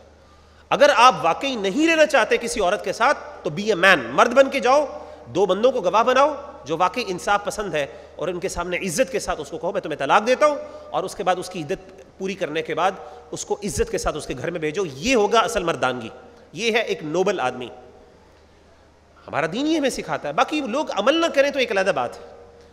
طلاق کے مسئلے میں میں نے آپ کو بتایا تھا کہ اللہ تعالیٰ نے طلاق کے مسئلے پر ہم نے جیسے پہلے پہلے اس بارے میں پڑھا، سب سے زیادہ اللہ نے پروٹیکشن کس کو دی ہے؟ خواتین کو دی۔ خواتین کو بہت پروٹیکٹ کیا، ان کے مسائل کو، ان کی کمزوریوں کو سامنے رکھ کے۔ سبحان اللہ ہم امیجن اور یہ اللہ کی بہت رحمت لیکن اللہ معاف کرے، خواتین کا بہت زکات، خاص طور پہ جو فیمنزم کی رائز کی وجہ سے انفارچونیٹلی انہی چیزوں کو استعمال کیا جاتا ہے۔ اور اس طرح کی فضول باتوں میں بحث کی جاتی ہے۔ جی اچھا مرد کو تو مرد تو طلاق دے سکتا ہے، عورت کیوں نہیں دے سکتی؟ انصاف اسلام انصاف نہیں کرتا ریاض بل کیسی بات ہے؟ اس کے پیچھے ایک حکمت ہے، کیا بات ہے؟ وہ پوری الگ بات ہے۔ وہ عقیم الشہادت اللہ اور تم صرف اللہ کے لیے گواہی دو۔ ذالکم یو اغبی ہی یہی ہے جس کی ہر شخص کو نصیحت کی جاتی ہے۔ من کا یؤمن باللہ والیوم الاخر، جو ایمان رکھتا ہے اللہ پر اور آخرت کے دن پر۔ ومن یتق اللہ، اور جو اللہ سے ڈرتا ہے، یجعل له مخرجا، تو وہ اس کے لیے نجات کی راہ نکال دیتا ہے۔ ویرزقه من حيث لا يحتسب۔ اور وہ اسے رزق دیتا ہے جہاں سے اس کو گمان بھی نہیں ہوتا۔ ومن يتوکل علی اللہ اور جو اللہ پر بھروسہ کرتا ہے، فهو حسبه، تو اللہ اس کے لیے کافی ہو جاتا ہے۔ ان اللہ بالغ امری بے شک اللہ اپنے کام کو پورا کرنے والا ہے۔ قد جعل اللہ لكل شيء قدرا، بے شک اللہ نے ہر بات کے لیے ایک اندازہ مقرر کیا ہو۔ یعنی اللہ تعالیٰ سے جو بندہ ڈرتا ہے، دیکھیں طلاق اور نکاح کے مسئلے میں، نکاح کے مسئلے میں جو بندہ اللہ سے ڈرے گا، میاں بیوی میں سے، جو ڈرے گا نا، ہمیشہ اللہ کی مدد اس کے ساتھ ہوگی۔ اللہ کی حمایت بھی اس بندے کے ساتھ ہوگی اور جو اللہ معاف کرے، اگلے پر ظلم اور زیادتی کرنے کی کوشش کرے گا نا، وہ پکڑا جائے گا۔ واللہ اس من المحیض اب وہ عورتیں جو حیض سے نا امید ہو گئیں۔ من نسائکم تمہاری بیویوں میں سے۔ ان ارتب تم اگر تمہیں کوئی شک ہو فعدتہن ثلاثت اشہر تو ان کی عدت تین مہینے۔ واللہ لم یحض اور ان عورتوں کی بھی جن کو حیض نہیں آتا۔ بعض اوقات کسی بیماری کی وجہ سے فار ایگزامپل حیض نہیں آتا، یا پھر عورت بہت بوڑھی ہو گئی ہے، اس کی اب حیض آنا بند ہو گیا تو ایسی صورت میں اب طلاق دے دی آپ نے، تو اب حیض کے ساتھ تو آپ شمار کرتے ہو عدت کو، تو اب کیا ہوگا؟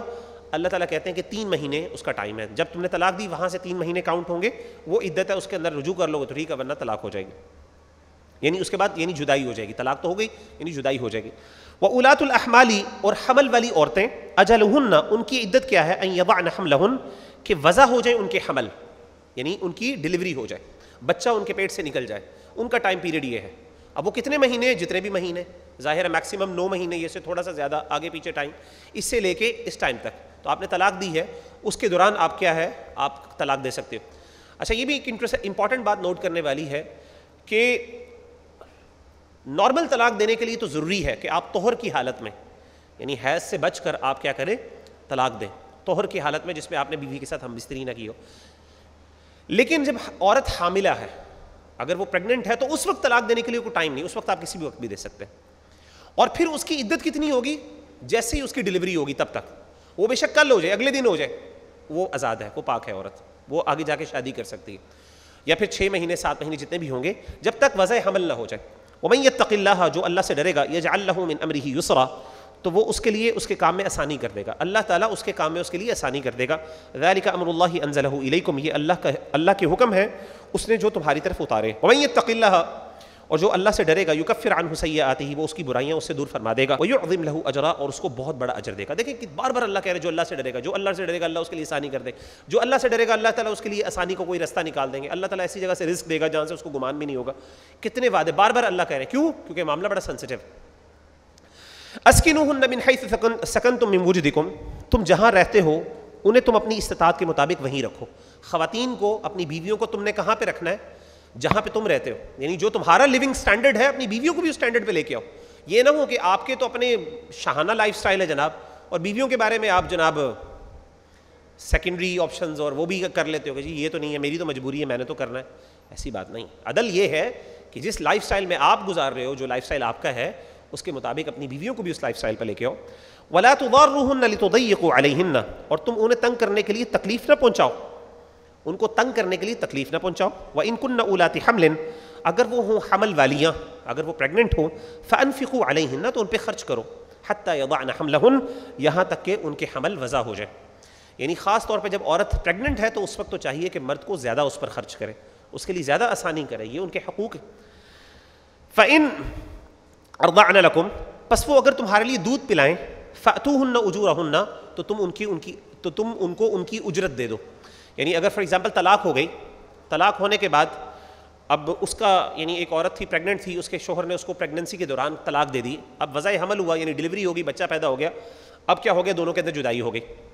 اب بعد میں جیسے ہم پہلے پڑھ چکے ہیں، اب مرد چاہتا ہے کہ میری بیوی جو ہے یعنی ایکس وائف جو ہے، وہ میرے بچے کو جو ڈلیورڈ ہوا ہے، اس کو جو ہے، اس کو دودھ بھی پلائے۔ تو اب وہ کیا کرے گی؟ جب وہ دودھ پلائے گی تو تمہیں پھر ضروری ہے کہ تم اس کو کیا کرو؟ اس کی اگینسٹ کوئی بینیفٹ بھی دو فائنینشیل بینیفٹ وَأْتَمِرُوا بَيْنَكُمْ بِمَعْرُوفِ اور تم آپس میں معقول طریقے سے مشورہ کر لیا کرو۔ یعنی اس معاملے کو کہ کتنا پیمنٹ کرنے کی، کتنے پیسے ہوں گے، اس کو میوچول انڈرسٹینڈنگ اور اگریمنٹ سے نبھالو اگر عورت کہتی ہے کوئی بات نہیں، میرا بچہ ہے آبویسلی میں کچھ نہیں لوں گی، آپ کو میں ایسے ہی کر دے تو ٹھیک ہے؟ لیکن اگر وہ کہتی ہے نہیں، مجھے اتنے پیسے دو، تو ٹھیک ہے، آپ پیسے دے دو۔ وہ ان تاثر تم اگر تم آپس میں تنگی کرو، لیکن اگر کوئی سیٹنگ نہیں بن پاتی آپس میں فصت الرض اخرا تو اس کو کوئی اور دوسری عورت دودھ پلائے۔ یعنی اگر فار ایگزامپل سیٹنگ نہیں ہو پاتی تو کوئی بات نہیں، آپ کسی اور عورت سے دودھ پلا دو۔ لیکن وہ مرد کا بیٹا بچہ ہے، وہ فیصلہ کرے گا اس بارے میں۔ لیون فقدو ساعت من ساعتی ہی چاہیے کہ وسعت والا اپنی وسعت کے مطابق خرچ کرے۔ امن قدرا یعنی جتنی آپ کے پاس اب کتنا خرچ کرنا ہے، اپنی بیوی پر کتنا خرچ کرنا ہے، جتنی آپ کی استطاعت ہے۔ یہ نہ ہو کہ ماشاء اللہ آپ کی استطاعت تو لاکھ دو لاکھوں دینے میں ہے، لیکن آپ جناب وہاں پہ کنجوسی کر رہے ہیں اور وہاں پہ آپ ہزاروں پہ بات کر رہے ہیں۔ یا یہ بھی نہ ہو کہ بیوی صاحبہ جو ہے ایکس وائف آپ آپ کی تنخواہ مثال کے طور پہ تھوڑی سی ہے اور وہ آپ سے ڈیمانڈ آپ سے تنخواہ سے ڈبل کر رہی ہے کہ مجھے جی اگر بچوں کو دودھ پلانا چاہتے پلوانا چاہتے تو اتنے پیسے مجھے دو، مہینے کا خرچہ مجھے دو، اتنا پیسے کا مطلب مہینے کا خرچہ دو۔ ومن قدر علیہ رزق ہو اور جس پر تنگ کر دیا گیا ہو اس کا رزق، جس پہ مشکل کر دیا گیا ہو اس کا رزق فلیون فک مما آتا اللہ تو اللہ نے جو اسے دیا ہے، اس میں سے خرچ کرنا چاہیے اس کو۔ لا یکلف اللہ نفسا الا ما آتا ہے وہ تک اللہ تعالیٰ تکلیف نہیں دیتا کسی کو، مگر جس نے، جس قدر اس نے اس کو عطا کیا۔ یعنی اللہ تعالیٰ ایک بندے کے اوپر اتنا ہی بوجھ ڈالتا ہے جتنی اس کی فائنینشیل ابیلٹی ہے، جتنی وہ استطاعت رکھتا ہے۔ ابھی اگین یہ سارا ڈیسائیڈ ہوگا اس کی فائنینشیل کنڈیشن کے سامنے سامنے رکھتے ہوئے۔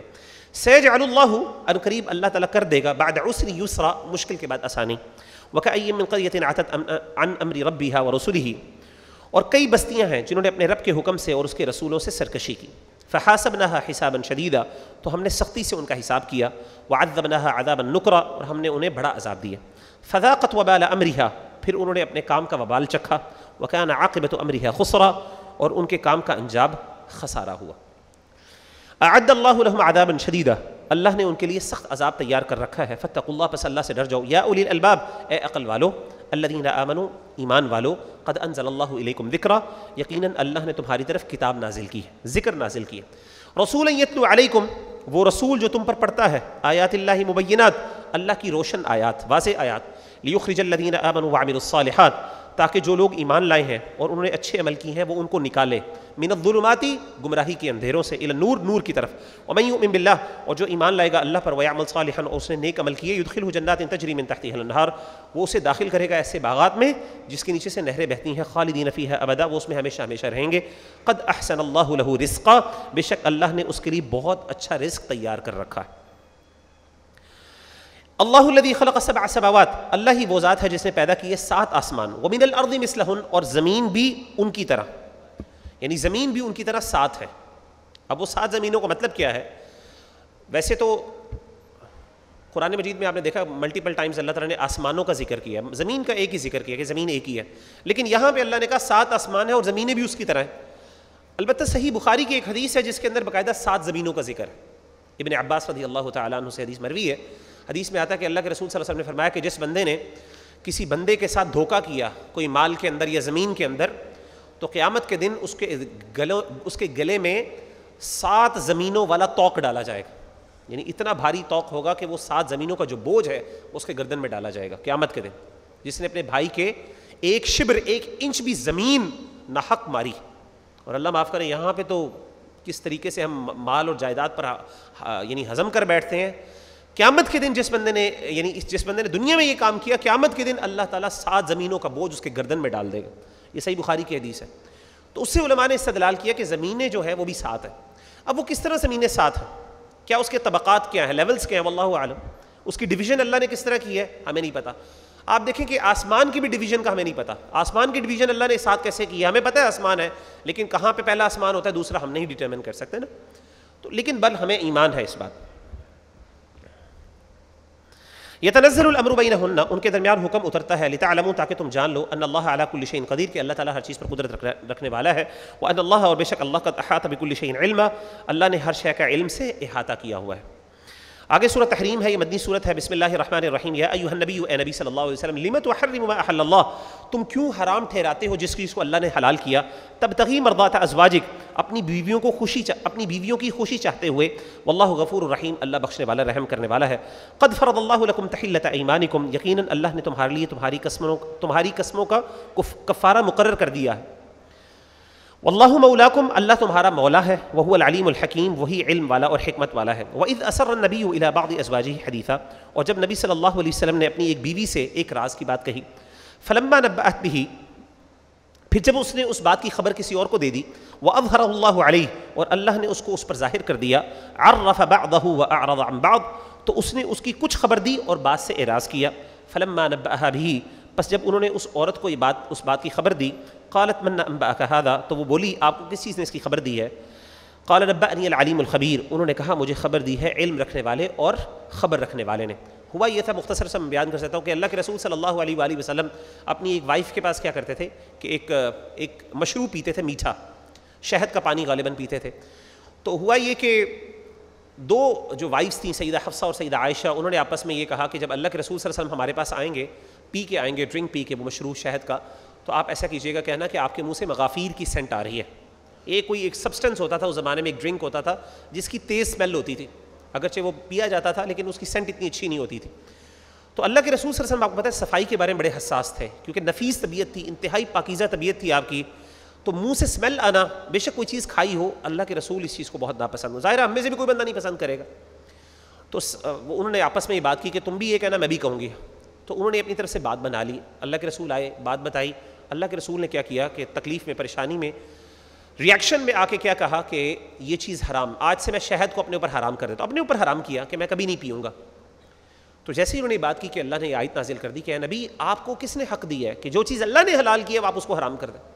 یعنی نبی کے پاس بھی اختیار نہیں ہے کہ حلال اور حرام کے فیصلہ وہ خود کر سکے۔ حالانکہ انہوں نے اپنی ذات پہ کی، انہوں نے کوئی یہ نہیں کہا تھا کہ یہ اسلام کا حکم ہے، ایسی بات ہے اپنی ذات پہ کی، اللہ نے کہا نہیں کرنا۔ تم بیویوں کو خوش کرنا چاہتے ہو۔ اور پھر نبی نے کوئی ایک نبی صلی اللہ علیہ وسلم نے اس ایک راز کی بات بتائی، اپنی ایک وائف کو اور کہا کہ کسی کو بتانا نا۔ انہوں نے سیدہ حفصہ نے کیا کیا، سیدہ عائشہ کو بتا دی۔ تو بعد میں جب اللہ تعالیٰ نے وہی کے طور پہ بتا دیا کہ انہوں نے یہ جو آپ نے حکم دیا تھا، تو اس کی انہوں نے بات نہیں مانی اور انہوں نے یہ بھی مسئلہ ہوا، یہ جو میں نے ذکر کیا، شہد کو حرام کرنے کا جو وجہ بنی۔ تو اس وجہ سے تھوڑی سی جو آپ کی وائفس تھیں، ان کی اللہ تعالیٰ نے تربیت کی اس صورت کے شروع میں۔ ان تطوبہ اللہ اگر تم توبہ کرو، اللہ تعالیٰ کی یعنی ان دونوں وائفس کو کہا اگر تم اللہ تعالیٰ کے سامنے توبہ کرو تو بہتر ہے۔ فقط سخت قلوب بس تمہارے دل ٹیڑھے ہو گئے۔ یعنی تمہارے دل کچھ کچھ دیر کے لیے صحیح رستے سے ہٹ گئے۔ وہ ان تباہ علیہ اور اگر تم ایک دوسرے کی مدد کرو گی فعن اللہ ہوا مولا ہو بس بے شک اللہ تعالیٰ اس کا مولا ہے۔ یعنی اگر تم آپس میں ایک دوسرے کی مدد کرو گے نبی کے خلاف فعن اللہ ہوا مولا ہو بس بے شک اللہ تعالیٰ اس کا مولا ہے. کس کا؟ نبی کا. وہ جبریل و جبریل ہے. وہ صالح المؤمنین اور نیک مومن وہ بھی ان کے مددگار ہیں. والملائکتو اور فرشتے بھی بعد ذالک ظہیر اس کے بعد مددگار ہیں. یعنی آپ اگر کوئی بھی طریقہ اگر اپنائیں گے نبی کے بارے میں، حالانکہ اس کے پیچھے کیا حکمت تھی؟ واللہ عالم بل تفصیلات اتنی تفصیلات حدیث میں موجود نہیں. بس موٹی موٹی بظاہر یہ ہوتا ہے کہ ایک جیلسی تھی جس کی وجہ سے شاید انہوں نے یہ کام کیا. تو لیکن اللہ تعالیٰ نے ان کی تھوڑی سی ڈانٹ یہاں پلائی. رب ان طلقن دل ازواجن اگر وہ تمہیں وہ نبی تمہیں طلاق دے دیں تو قریب ہے کہ اس کا رب اس کے لیے اور بیویاں بدل دے۔ اللہ تعالیٰ تمہیں اور یعنی نبی صلی اللہ علیہ وسلم کو اور بیویاں عطا کر دیں تمہاری جگہ پہ۔ خیرم من کنہ وہ بیویاں جو ان سے تم سے بہت بہتر ہوں گی۔ مسلمات مومن، مسلمان ہوں گی۔ مومنات ایمان والیاں ہوں گی۔ قانتات فرما بردار ہوں گی۔ تائبات توبہ کرنے والیاں ہوں گی۔ عابدات عبادت گزار ہوں گی۔ سائحات روزہ دار، روزے رکھنے والے ہوں گی روزے رکھنے والی ہوں گی۔ طیبات شوہر دیدہ ہوں گی، وہ ابکارہ اور کمواری ہوں گی۔ کمواری عورتیں، ظاہر ہے وہ، اور اس کے اپوزٹ سیبات ہوتا ہے، سیبہ۔ سیبہ کہتے ہیں ایسی عورت کو جس کا پہلے شوہر رہ چکا ہو۔ یا ایوہ الذین آمنوا اے ایمان والو، قو انفسکم، تم بچاؤ اپنے اپنے آپ کو وہ اہلیکم اور اپنے گھر والوں کو نارن آگ سے۔ اپنے آپ کو، سب سے پہلے اپنے آپ کو اور اپنے گھر والوں کو بچاؤ۔ یہ تمہاری ذمہ داری۔ وقود الناسو اور آدمی وقود الناسو والحجارہ اور اس آگ کا جو ایندھن ہے، جو فیول ہے، وہ کون ہے؟ لوگ ہیں اور پتھر ہیں۔ علیہ ملائکتن، اس پر فرشتے ایسے مقرر ہیں غلاد جو بڑے سخت مزاج ہیں شداد اور بڑے مضبوط ہیں۔ لا یعصون اللہ ما امرہم، وہ نہیں نافرمانی کرتے اللہ تعالیٰ کی جس کا ان کو اللہ حکم دیتے ہیں۔ وہ فعلون ما مرون اور جو وہ کرتے ہیں، اور وہ کرتے ہیں جو ان کو حکم دیا جاتا ہے۔ یا ایوہ الذین کفروا، اے کافرو، لا تعتذروا اليوم، آج کے دن تم عذر نہ پیش کرو۔ انما تجزون ما کنتم تعملون، بے شک تم جزا دیے جاؤ گے اس چیز کی جو تم عمل کرتے۔ یا ایوہ الذین آمنوا اے ایمان والو توبو اللہ توبتا نصوحا تم اللہ کے آگے خالص توبہ کرو۔ عسا ربکم عن قریب تمہارا رب ان یکفر عنکم۔ امید ہے کہ وہ تمہیں معاف کر دے تم تم, تم سے دور کر دے۔ سیئاتکم تمہاری برائیوں کو۔ ویدخلکم جنات تجری من تحتها الانہار اور تمہیں داخل کرے ایسے باغات میں جس کے نیچے سے نہریں بہتی ہیں۔ یوم لا یخزی اللہ النبی۔ اس دن اللہ رسوا نہیں کرے گا اپنے نبی کو۔ والذین آمنوا معه اور جو ایمان لائے اس کے ساتھ۔ قیامت کے دن وہ رسوا نہیں ہوں گے۔ نورہم یسعى بین ایدیہم و بایمانہم ان کا نور ان کے سامنے اور ان کے دائیں دوڑتا ہوگا، جس کا ذکر ہم سورہ حدید میں کر چکے ہیں۔ یقولون، وہ کہے، وہ وہ دعا کریں گے، ربنا، اے ہمارے رب، اتمم لنا نورنا، ہمارے لیے ہمارا نور پورا کر دے وغفر لنا اور ہمیں مغفرت ہمیں ہمیں معاف کر دے۔ انک علی کل شیء قدیر، بے شک آپ ہر چیز پر قدرت رکھنے والے۔ جب وہ دیکھیں گے نا، منافقین کو روک دیا گیا اس دروازے کے پیچھے، پچھلی سائڈ پہ، تو وہ پھر اللہ تعالیٰ سے ڈر کے مارے دعا کریں گے، اللہ ہمارا نور کہیں ختم نہ ہو جائے، ہمارے نور کو مکمل کر دے۔ یا ایوہ النبی، اے نبی، جاہد الکفار والمنافقین، آپ جہاد کریں کافروں کے ساتھ اور منافقوں کے ساتھ، منافقین کے ساتھ۔ وغلظ علیہم اور ان پر سختی کیجیے تو مأواہم جہنم ان کا ٹھکانہ جہنم ہے، وہ بئس المصیر اور بہت بری جگہ ہے وہ رہنے کی۔ ضرب اللہ مثلا، اللہ تعالیٰ مثال بیان کرتے ہیں۔ للذین کفروا کافروں کے لیے امرأۃ نوح و امرأۃ لوط۔ نو علیہ الصلوۃ والسلام کی بیوی کی اور لوط علیہ الصلوۃ والسلام کی بیوی کی۔ کانتا تحت عبدین وہ دونوں دو بندے، دو بندوں کے گھروں میں تھیں یعنی ان کے نیچے تھی، کیا مطلب ہے؟ ان کی بیویاں تھیں۔ عبادنا صالحین، وہ دو ہمارے نیک بندے ان کے گھروں میں تھیں وہ۔ فخانتا ہما تو ان دونوں نے خیانت کی ان کی یعنی وہ اسلام نہیں قبول کیا، مسلمان نہیں ہوئی فلم یغنیا عنہما من اللہ شیئا، تو اللہ کے آگے ان دونوں کے کچھ کام نہ آیا۔ وکیل ادخل النار مع الداخلین، اور ان دونوں سے کہا، ان بیویوں سے کہا گیا کہ تم داخل ہو جو آگ میں داخل ہونے والوں کے ساتھ۔ وضرب اللہ مثلا، اور اللہ تعالیٰ مثال دیتا ہے للذین آمنوا، اللہ تعالیٰ نے مثال بیان کی مومنوں کے لیے امراۃ فرعون فرعون کی بیوی کی، سیدہ آسیہ کی۔ اذ قالت، جب انہوں نے کہا، رب ابن لی عندک بیتا فی الجنہ، اے میرے رب، میرے لیے اپنے پاس جنت میں ایک گھر بنا دے۔ ونجنی من فرعون وعملہ، اور مجھے فرعون اور اس کے عمل سے بچا لے۔ ونجنی من القوم الظالمین، اور مجھے ظالم قوم سے نجات دے دیجیے۔ تو دو بیویاں نو اور لوت علیہ الصلوۃ والسلام کی بیویاں، یہ بھی مسلمان نہیں ہوئیں۔ انہوں نے ان کو ہلاک کر دیا گیا، یہ بھی پکڑی گئی عذاب میں۔ اسی طریقے سے، لیکن فرعون کی بیوی یعنی نبی ہے خاون نبی ہیں اور بیویاں کافر ہیں۔ اس کے اپوزٹ فرعون بات خاون ہے جو کافر ہے اللہ معاف کرے۔ اور اس کی بیوی جو ہے، وہ مومنہ ہے، سیدہ آسیہ۔ جن کے بارے میں حدیث میں آتا ہے، نبی صلی اللہ علیہ وسلم نے فرمایا کہ تین عورتوں کو اللہ تعالیٰ نے سب سے زیادہ یعنی فضیلت دی ہے۔ اللہ تعالیٰ کے ہاں بڑی کامل ایمان والی خواتین تھیں۔ ان میں تین میں کون کون سی؟ ایک سیدہ آسیہ ہے، ایک سیدہ مریم ہے اور ایک سیدہ عائشہ۔ وہ مریم ابنت عمران اور دوسری مثال عمران کی بیٹی، عمران کی بیٹی مریم کی۔ اللہ تی احسرت فرجہا جس نے اپنی شرمگاہ کی حفاظت کی۔ فنفخنا فیہ من روحنا، تو ہم نے اس میں اپنی اس میں ہم نے اپنی روح کو پھونکا۔ وصدقت بکلمات ربیہا وکتبہ اور اس نے تصدیق کی اپنے رب کی باتوں کی اور اس کی کتابوں کی۔ وکانت من القانتین، اور وہ تھیں، وہ خاتون جو سیدہ مریم تھیں، وہ فرما بردار لوگوں میں سے تھیں۔ تو اللہ تعالیٰ جو سنا ہے اس کو سمجھنے اور اس پر عمل کرنے کی توفیق عطا فرمائے۔ سبحانک اللہم بحمدک اشہد ان لا الہ الا انت، استغفرک و اتوب الیک۔